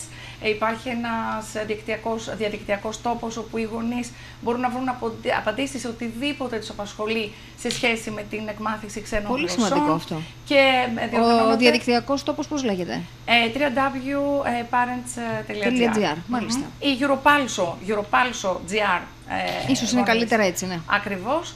Και βεβαίως ε, διοργανώνται και διάφορα σεμινάρια που απευθύνονται και σε γονείς, όπως ε, ε, η εφηβεία από το Α στο Ω, επαγγελματική ε, σταδιοδρομία, ε, επαγγελματικός προσανατολισμός, ε, ασφαλής πλοήγηση στο διαδίκτυο και σεμινάρια ευεξίας και γέλιου που δυστυχώς ε, αυτή τη χρονιά δεν κατάφερα να έχουμε έτσι στο λέξεις. Πιστεύω αυτή την, την επόμενη χρονιά να την... Με το ε, ξεκίνημα. Να το, να το ξεκινήσουμε. και θα είστε Έτσι, μπράβο. καλεσμένοι. Ευχαριστούμε πάρα πολύ. Ευχαριστούμε. Ε, πότε κλείνει ο κύκλος αυτής της χρονιάς για το λέξει. Για τα παιδιά δημοτικού κλείνει στις ε, 15, Σεπτεμβρίου, ε, 15 Ιουνίου, συγγνώμη, μαζί με Μη μας τους, φας όλο το ε, καλοκαίρι, όχι, Φάνη μου. όχι, μαζί με, τους, ε, με τα σχολεία. Ε, και για τους μαθητές ε, γυμνασίου και ηλικίου θέλουμε να τους αποφορτήσουμε λίγο. Έχουμε ολοκληρώσει τον κύκλο σπουδών, άρα σταματάμε τώρα τέλος Μαΐου. Μάλιστα. Ε, να πω δύο λόγια ότι ε, το Κέντρο Ξενών Γλωσσών Λέξης ε, προσφέρει ένα πρόγραμμα υποτροφιών, ε, υποτροφιών στους μαθητές Α, του. πολύ σημαντικό Που σημαίνει αυτό. ότι οι μαθητές ε, που επιτυχάνουν την ψηλότερη βαθμολογία ένα επίπεδο ε, έχουν μια υποτροφία που καλύπτει το 50% των, ε, του ετήσιου προγράμματος ε, σπουδών. Ε, επίσης έχουμε ένα πρόγραμμα σύστασης νέου μαθητή που προσφέρουμε 10% έκπτωση στις, ε, στους μαθητές που θα μας συστησουν ε, σε ένα, που θα μας συστήσουν ένα νέο μαθητή. Ε, και βεβαίως έχουμε και ένα 10% στις εγγραφές που θα γίνουν μέχρι, προεγγραφές δηλαδή, που θα γίνουν μέχρι τις ε, 15 Ιουνίου, τόσο ώστε να εξασφαλίσουν τη θέση τους για την επόμενη σχολική χρονιά. Και το λέω αυτό γιατί τα τμήματά μας είναι ε, ε, αυστηρά δεκαμελή. Ακριβώς. Σε καμία περίπτωση δεν μπαίνει δέκατο άτομο. Ε, Εξάλλου και η, ε, η διάρθρωση των, η διάταξη των θρανίων μας ουσιαστικά δουλεύουμε ε, σε τραπέζια εργασίας, ούτως ώστε να γίνεται ομαδικά η δουλειά και να δουλεύουμε ομα- ομαδοσυνεργατικά. Ε, Περισσότερες πληροφορίες Άρα- για τις υποτροφίες θα μας πεις που θα χρειαστεί να πάρει ο κόσμος; Βεβαίως, στο κέντρο ξενογλωσσών λέξης που βρίσκεται απέναντι από το εργατικό κέντρο, καθημερινά από τις 4 μέχρι τις 9 4 έως 9 λοιπόν. Και σε ποιο τηλέφωνο; και στο 27520 23 275. Πολύ ωραία, να το ανακοινώνουμε και εμείς γι' αυτό στο, το σημείωσα μόλις Καλούμε τώρα. λοιπόν μικρούς και πολύ μεγάλους σημαντικό. να συμμετέχουν σε αυτό το υπέροχο ταξίδι στο γλω- στον κόσμο της ξενόγλωσσης εκπαίδευσης. Είναι ένα μαγικό ταξίδι που ανακαλύπτουμε πραγματικά καινούριους κόσμους. Ευχαριστούμε πάρα πολύ που ήσουν εδώ σήμερα. Καλή επιτυχία. Εγώ σας ευχαριστώ. Ξεαγχώθηκες. Δεν Ναι, ήταν ναι, τόσο καθόλου, δύσκολο, όχι, έτσι. Καθόλου, καθόλου. Είναι αλήθεια ότι είναι κάτι που κάνω κάθε μέρα, οπότε δικαιολογείται το άγχος. μου. Σίγουρα. Μια χαρά. Καλή επιτυχία, Καλή καλή, επιτυχία. δύναμη ευχόμαστε. Ευχαριστούμε πολύ. Καλή Γιατί επιτυχία ξέρεις σε τα όλους παιδιά, τους μαθητές. τα παιδιά που έρχονται περισσότερο σε συναστροφή με σένα και τους καθηγητές του κέντρου ε, παίρνουν πάρα πολύ μεγάλη δύναμη από εσάς. Περισσότεροι από εσάς, παρότι από εμάς όταν Το έρχονται ξέρω, στο γι' αυτό και η σπίτι. παρουσία μας στις εξετάσεις είναι, είναι ουσιώδης. Πραγματικά. καθοριστική. Είμαστε, ε, θα είμαστε όλοι εκεί. Εγώ δεν θα μπορέσω να είμαι εκεί. Είμαι υπεύθυνη εξεταστικού κέντρου σε άλλη περιοχή. Ωστόσο, όλες οι καθηγήτριες του, του κέντρου μας θα είναι εκεί να στηρίξουν Να τα πούμε παιδιά. ότι στο πρώτο λύκειο Άργους ε, γίνεται, Στο πρώτο έτσι; Λύκειο Άργους, ακριβώς. Και Διεξαγωγή. Σάββατο το Γυροπάλσο και Κυριακή ESB, γραπτά και προφορικά. Μάλιστα. Ε, ευχαριστούμε πολύ λοιπόν τη Εγώ Φανή σας Μαντά. ευχαριστώ. Ε, Εμείς κυρίες και κύριοι πάμε στο διαφημιστικό διάλειμμά μας των 10.30 το οποίο έχει περάσει, έχει παρέλθει κατά 10 λεπτά. Δεν έχει όμως καμία σημασία. Εμείς θα περάσουμε σε αυτό το διαφημιστικό διάλειμμα. Εσείς Έτσι κι ωστόσο. αλλιώς εμείς με τον χρόνο δεν πάμε πολύ καλά. Όχι, οπότε. ε, εντάξει, δεν έχει Έτσι κι τίποτα. αλλιώς για 8ο μνημόνιο έχουμε Έτσι. καιρό. Ε, πάμε στο διαφημιστικό διάλειμμα λοιπόν και επιστρέφουμε σε λίγα λεπτά εδώ μαζί.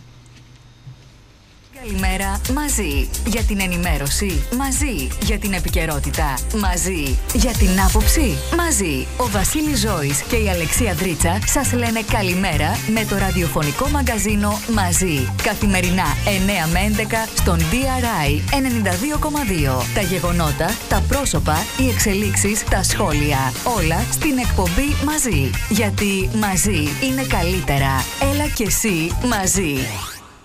10 λεπτά πριν από τις 10, εδώ μαζί από τον DRI 92,2 στο FM. Μας βλέπετε ζωντανά από το κανάλι μας στο YouTube DRI Web TV. Μας βλέπετε μέσα από τις αργολικές ειδήσεις. Μας βλέπετε ζωντανά από τη σελίδα μας στο Facebook DR Τηλεόραση Άργος. Μας ακούτε από το Live 24 και από τα FM 92,2. Ε, ποια ήταν αυτή η τόσο ενδιαφέρουσα είδηση που διάβαζες για την κυρία Σακοράφα; Η είδηση. Τι είπε η κυρία Σακοράφα; Υπάρχει και απάντηση από το ΣΥΡΙΖΑ. Α, για πες μας. Υπάρχει μια ανακοίνωση από την Ευρωβουλευτή, ανεξάρτητη πλέον Ευρωβουλευτή, την κυρία Σοφία Σακοράφα, η οποία είχε εκλεγεί με τον ΣΥΡΙΖΑ. Δεν άφησε τη θέση της όμως. Όχι. Όχι, είναι Βεβαίως, πολλά τα είναι λεφτά. πολλά, ναι. είναι πάρα πολλά τα λεφτά. Έτσι, μεγάλο το Η κυρία Σακοράφα λοιπόν σημειώνει ότι η σημερινή μέρα θα στιγματίζει για πάντα την ιστορία της πατρίδας μας, ενώ νιώθει ντροπή που κάποτε, ε, νιώ- νιώθει ντροπή που κάποτε ήλπισα μαζί σας. Προέτρεψε το λόγο για Μάλιστα να αναφέρεται ψηφίσει. ο καιρό είναι μπροστά μας, ο Εδένη θα υποχωρήσει, τα τράπεζα θα υπορροφθούν, ο λαός μας θα συγκροτηθεί. Τότε θα τα πούμε. Λέει, λέει διάφορα εκεί. Είναι η μεγάλη οδύνη του λαού μας, είναι τεράστιο το πολιτικό σοκ που έχετε προκαλέσει και δεν υπάρχει μεγαλύτερη χειδαιότητα να το αξιοποιείτε αυτή την οδύνη, αυτό το σοκ, προκειμένου να περάσετε όλα όσα δεν μπορούσε να περάσει κανείς άλλος. Ο καιρός όμως είναι μπροστά μας, η οδύνη θα υποχωρήσει, τα τράπεζα θα υπορροφθούν, ο λαός μας θα ανασυγκροτηθεί, τότε θα τα πούμε. Α, περασμένα ξεχασμένα δηλαδή. Απαντάει ο ΣΥΡΙΖΑ και λέει, κάνει λόγο για υποκλοπή της έδρας του Ευρωκοινοβούλιο, ενώ θέτει και ζητήματα ηθικής, καθώς αποκαλύπτει ότι η κυρία Σακοράφα δεν έδωσε ποτέ συνδρομή στο κόμμα, ούτε εισέφερε ποτέ στις δομές κοινωνικής αλληλεγγύης. Τι μου λες, λέει δεν έδωσε τα 5 ευρώ ας πούμε. Δεν το πιστεύω αυτό, αυτό είναι εξή. Ε, κοίταξε να δεις, ε, Αλεξία. Η υποκρισία, Εντάξει τώρα, ε, η υποκρισία και ο κοινοβουλευτισμός πάνε έτσι. αυτό που βγήκε να πεις η Σακοράφα ήταν ότι λυπάται που παρέσυρε, που προέτρεψε το λαό να ψηφίσει ΣΥΡΙΖΑ γίνεται ανεξάρτητη. Δεν παρετείται, κρατάει λοιπόν τα λεφτά και βγήκε ο ΣΥΡΙΖΑ να πει ότι είναι ηθικό το θέμα, δεν ήταν Ρε παιδί συνδρομήτρια μου, του. λέει ο ΣΥΡΙΖΑ. Γελάει η κυρία τώρα. Σε Σακοράφα παρακαλώ. καθ' όλη τη διάρκεια τη. Κράζει η Σακοράφα το ΣΥΡΙΖΑ ότι κρύβατε Έλα, ψέματα. τώρα. Ότι λυπάμαι, λέει, που και εγώ έβαλα τον κόσμο να ψηφίσει εσάς κτλ. κτλ. Και ο ΣΥΡΙΖΑ της λέει: Η κυρία Σακοράφα καθ' όλη τη διάρκεια της συμπόρευσης με το ΣΥΡΙΖΑ ουδέποτε έδωσε ένα ευρώ συνδρομή στο κόμμα Να τα. παρά την καταστατική πρόβλεψη και παρά τις επανειλημμένες οχλήσεις των αρμοδίων. Παρά Δηλαδή, τα της αυτά λέγανε, όμως ο ΣΥΡΙΖΑ- «Πληρώνεις, αλλά δεν μας δίνεις τίποτα σαν Παρά τα ευρωβουλευτήνα». αυτά όμως, Δεύτερον, ο ΣΥΡΙΖΑ την έκανε να παίρνει 20 και πλέον Μπράβο. χιλιάρικα το μήνα; Η κυρία Σακοράφα, η Ε, οποία. δώστε κι εσείς ένα αυτοπρο- μισθό το μήνα, η, η τέλος κυρία πάντων. Σακοράφα, η οποία αυτοπαρουσιάζεται ως προστάτητα των αδυνάμων, ουδέποτε εισέφερε ούτε ένα ευρώ στις δομές κοινωνικής αλληλεγγύης σε αντίθεση με τους υπόλοιπους βουλευτές και ευρωβουλευτές του κόμματος. Δεν πρέπει τώρα η κυρία Σακοράφα μαθήματα- τουλάχιστον 20 χιλιάρικα ένα μηνιάτικο να το δώσει; Λοιπόν, και λέει Για για, όλες το, τις για το συνδρομές. ότι η κυρία Σακοράφα υπέκλεψε την έδρα στην Ευρωβουλή, αρνούμενη να παραιτηθεί, δεν χρειάζεται να προσθέσουμε κάτι. Το γεγονός μιλάει από μόνο του και δείχνει την ηθική του προσώπου πολύ πιο καθαρά από οποιοδήποτε φλογερή και ηθικολογική δήλωση. Πολύ βαρύ Ανακοίνωσε αυτό. Συνέντευξη. Τα μαθήματα και τις παρενέσεις ας τα κρατήσει για την ίδια. Ε, εντάξει, και η Σακοράφα έχει Συγκινούμε δίκιο. βαθύτατα. Και η Σακοράφα έχει δίκιο και ο ΣΥΡΙΖΑ έχει δίκιο. Συγκινούμε Εγώ σου έχω πει βαθύτατα. πάρα πολλές φορές ότι ε, οι βουλευτές, άμα νιώθουν ότι δεν ε, ανεξαρτητοποιούνται, αφήνουν την έδρα τους. Τώρα πόσα παίρνεις Σακοράφα το μήνα, εντάξει, κατά προσέγγιση ξέρουμε. Θες Γύρω να στα, με 20 συγχύσεις, γύρω το στα 20 καταλάβω. χιλιάρικα, έτσι. Τώρα στο τελείωμα της εκπομπής θες να με εκνευρίσεις. ε, το ότι τι έχει, αν νιώθει άσχημα που εξαπάτησε τον κόσμο και τύψεις κτλ., αφήνει την έδρα της, λέει εγώ δεν έπρεπε να ασχοληθώ εκεί, είστε ψεύτες, είστε πατεώνε, να βγαίνει να τους κράζει. Ο ΣΥΡΙΖΑ λέει: Εσύ παίρνεις κυρία μου 23 χιλιάρικα το μήνα, 20 πόσα παίρνεις, επειδή στα δώσαμε εμείς στην ουσία, σε εισαγωγικά. Βέβαια, ξέρεις τα κόμματα και ο κοινοβουλευτισμός, όπως σου, είδα- όπως σου είπα, έχουν αποθρασινθεί σε αυτό το κομμάτι και ηθική μην ψάχνεις να βρεις σε, αυτές τις, σε αυτούς του είδους τις συναλλαγές, Αλεξία μου. Δυστυχώς δεν υπάρχει. Βέβαια, η κυρία Σακοράφα, πρόσεξε τώρα, η κυρία Σακοράφα παίρνει ε, τόσα χρήματα στην Ευρωβουλή, εκλεγμένη με τον ΣΥΡΙΖΑ και στη συνέχεια ανεξαρτητοποιήθηκε, και λέει ότι νιώθω άσχημα που είπα σε κόσμο να ψηφίσει ΣΥΡΙΖΑ. Φαντάζομαι πως νιώθουν ΣΥΡΙΖΑΙ, στελέχοι του ΣΥΡΙΖΑ, που δεν παίρνουν και τίποτα και λέγανε σε κόσμο να ψηφίσει ΣΥΡΙΖΑ. Οπότε αυτή δεν πειράζει, με τα τόσε χιλιάδες ευρώ που παίρνει θα πνίξει τη Λοιπόν, στενοχώρια της. θα πνίξει. Και τις Πρέπει- τύψεις πρέπει που όμως έχει, ένα μηνιάτικο- γιατί, ένα μηνιάτικο πρέπει να ε, το Παρέσυρε τον κόσμο να ψηφίσει ΣΥΡΙΖΑ. Θα μηνιάτικο- πνιγούν οι τύψεις πιο εύκολα με αυτά Ένα τα χιλιάδες. μηνιάτικο πρέπει να το δώσει για τις συνδρομές της συνολικά Μάλιστα. στο κόμμα. Πάμε να, πούμε, να δούμε ότι θα έχουμε βροχή πρόστιμα προς ε, ιδιοκτήτες αυτοκινήτων. Α, για να δούμε λοιπόν τι μας λέει το άρθρο. Χαράτσι με διπλασιασμό του τέλους και αφαίρεση πινακίδων. Στόχαστρο ιδιοκτήτης αυτοκινήτων με άδεια κυκλοφορίας από 2010 έως 2016. Ανασφάλιστα γεωταχή και όσα δεν πέρασαν κταίο μπαίνουν ψηλά στη λίστα των ελέγχων. Σας είπα εγώ. 16-11. Πάρτε τηλέφωνο στον Ταραντήλη να σας πει τι θα κάνετε. Στο στόχαστρο μπαίνουν πρώτα όσοι δεν έχουν πληρώσει τέλη κυκλοφορίας για το 2017.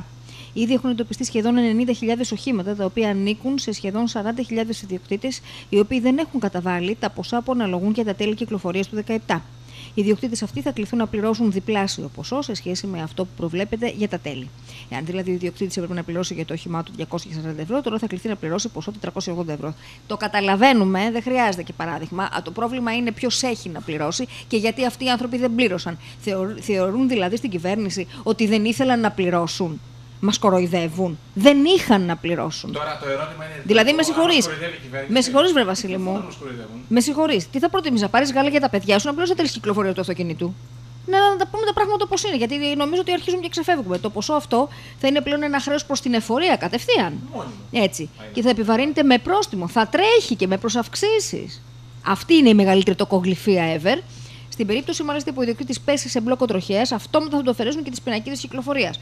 Να μην έχει να μετακινηθεί, να μην έχει να δουλέψει, να μην έχει να πάρει τα απαραίτητα για το σπίτι του. Οι ιδιοκτήτες των αυτοκινήτων που έχουν εντοπιστεί θα λάβουν ενημέρωση μέσω mail και αν δεν συμμορφωθούν θα έρθουν αντιμέτωποι με όλα όσα προβλέπει ο νόμος. Σε δεύτερη φάση θα μπουν στο στόχαστρο οι ιδιοκτήτες αυτοκινήτων που δεν έχουν ασφαλίσει το γεωταχή τους ή δεν έχουν περάσει από κταίο. Ναι, ρε παιδί μου, εντάξει. Στόχος είναι η μετακίνηση, στο στόχο ξέρω, είναι και η δεν- μετακίνηση. Δεν θα, εντάξει. δεν θα μπορούμε να μετακινηθούμε. Μας Τι έχουν ψάχνεις χαλάσει να την βρεις τώρα; καθημερινότητα αυτοί οι άνθρωποι. Ε, να κλείσουμε με το μεγάλο deal. Το μεγάλο deal ποιο είναι, Σόιμπλε Τσίπρας, αυτό είναι το Όχι, μεγάλο deal. Βαρδινογιάννης Ιβάν. Ναι, τι έχεις από Η εκεί; βόμβα έσκασε Για αργά το Μέγκα, λες, ε; μεσημέρι της Τετάρτης. Ε, υπήρχε πληροφορία και λεπτομέρειες της σκληρής διαπραγμάτευσης μεταξύ της πλευράς Σαββίδη από τη μία και της πλευράς Βαρδινογιάννη από την άλλη για το μέλλον του τηλεοπτικού σταθμού Μέγκα αλλά και του τηλεοπτικού σταθμού Σταρ που είναι της Μαριάννας, you know. Όμως όλα έχουν ξεκινήσει δύο μέρες πριν όταν η πλευρά Σαββίδη απόκτησε το 19,6% της εταιρείας τηλέτυπος ΑΕ εξαγοράζοντας μη δεσμευμένε ιδιωτικές μετοχές του Φώτη Μπόμπολα. Δύο 24 ώρα μετά η πλευρά Βαρδινογιάννη παρουσίασε στον Ιβάν Σαββίδη τους όρους της για τη συμμετοχή του τελευταίου σε ένα εταιρικό σχήμα το οποίο θα περιλάμβανε τόσο το Μέγκα όσο και το Star. Τι δουλειά έχει το Star μαζί με το Μέγκα, αφού είναι άλλη εταιρεία; Ω ανεξάρτητο κομμάτι της συμφωνίας, οι όροι της πλευράς Βαρδινογιάννη προτείνουν την εξαγορά μετοχών τηλεοπτικού σταθμού Star από τον Ιβάν Σαββίδη έναντι 15 εκατομμυρίων ευρώ.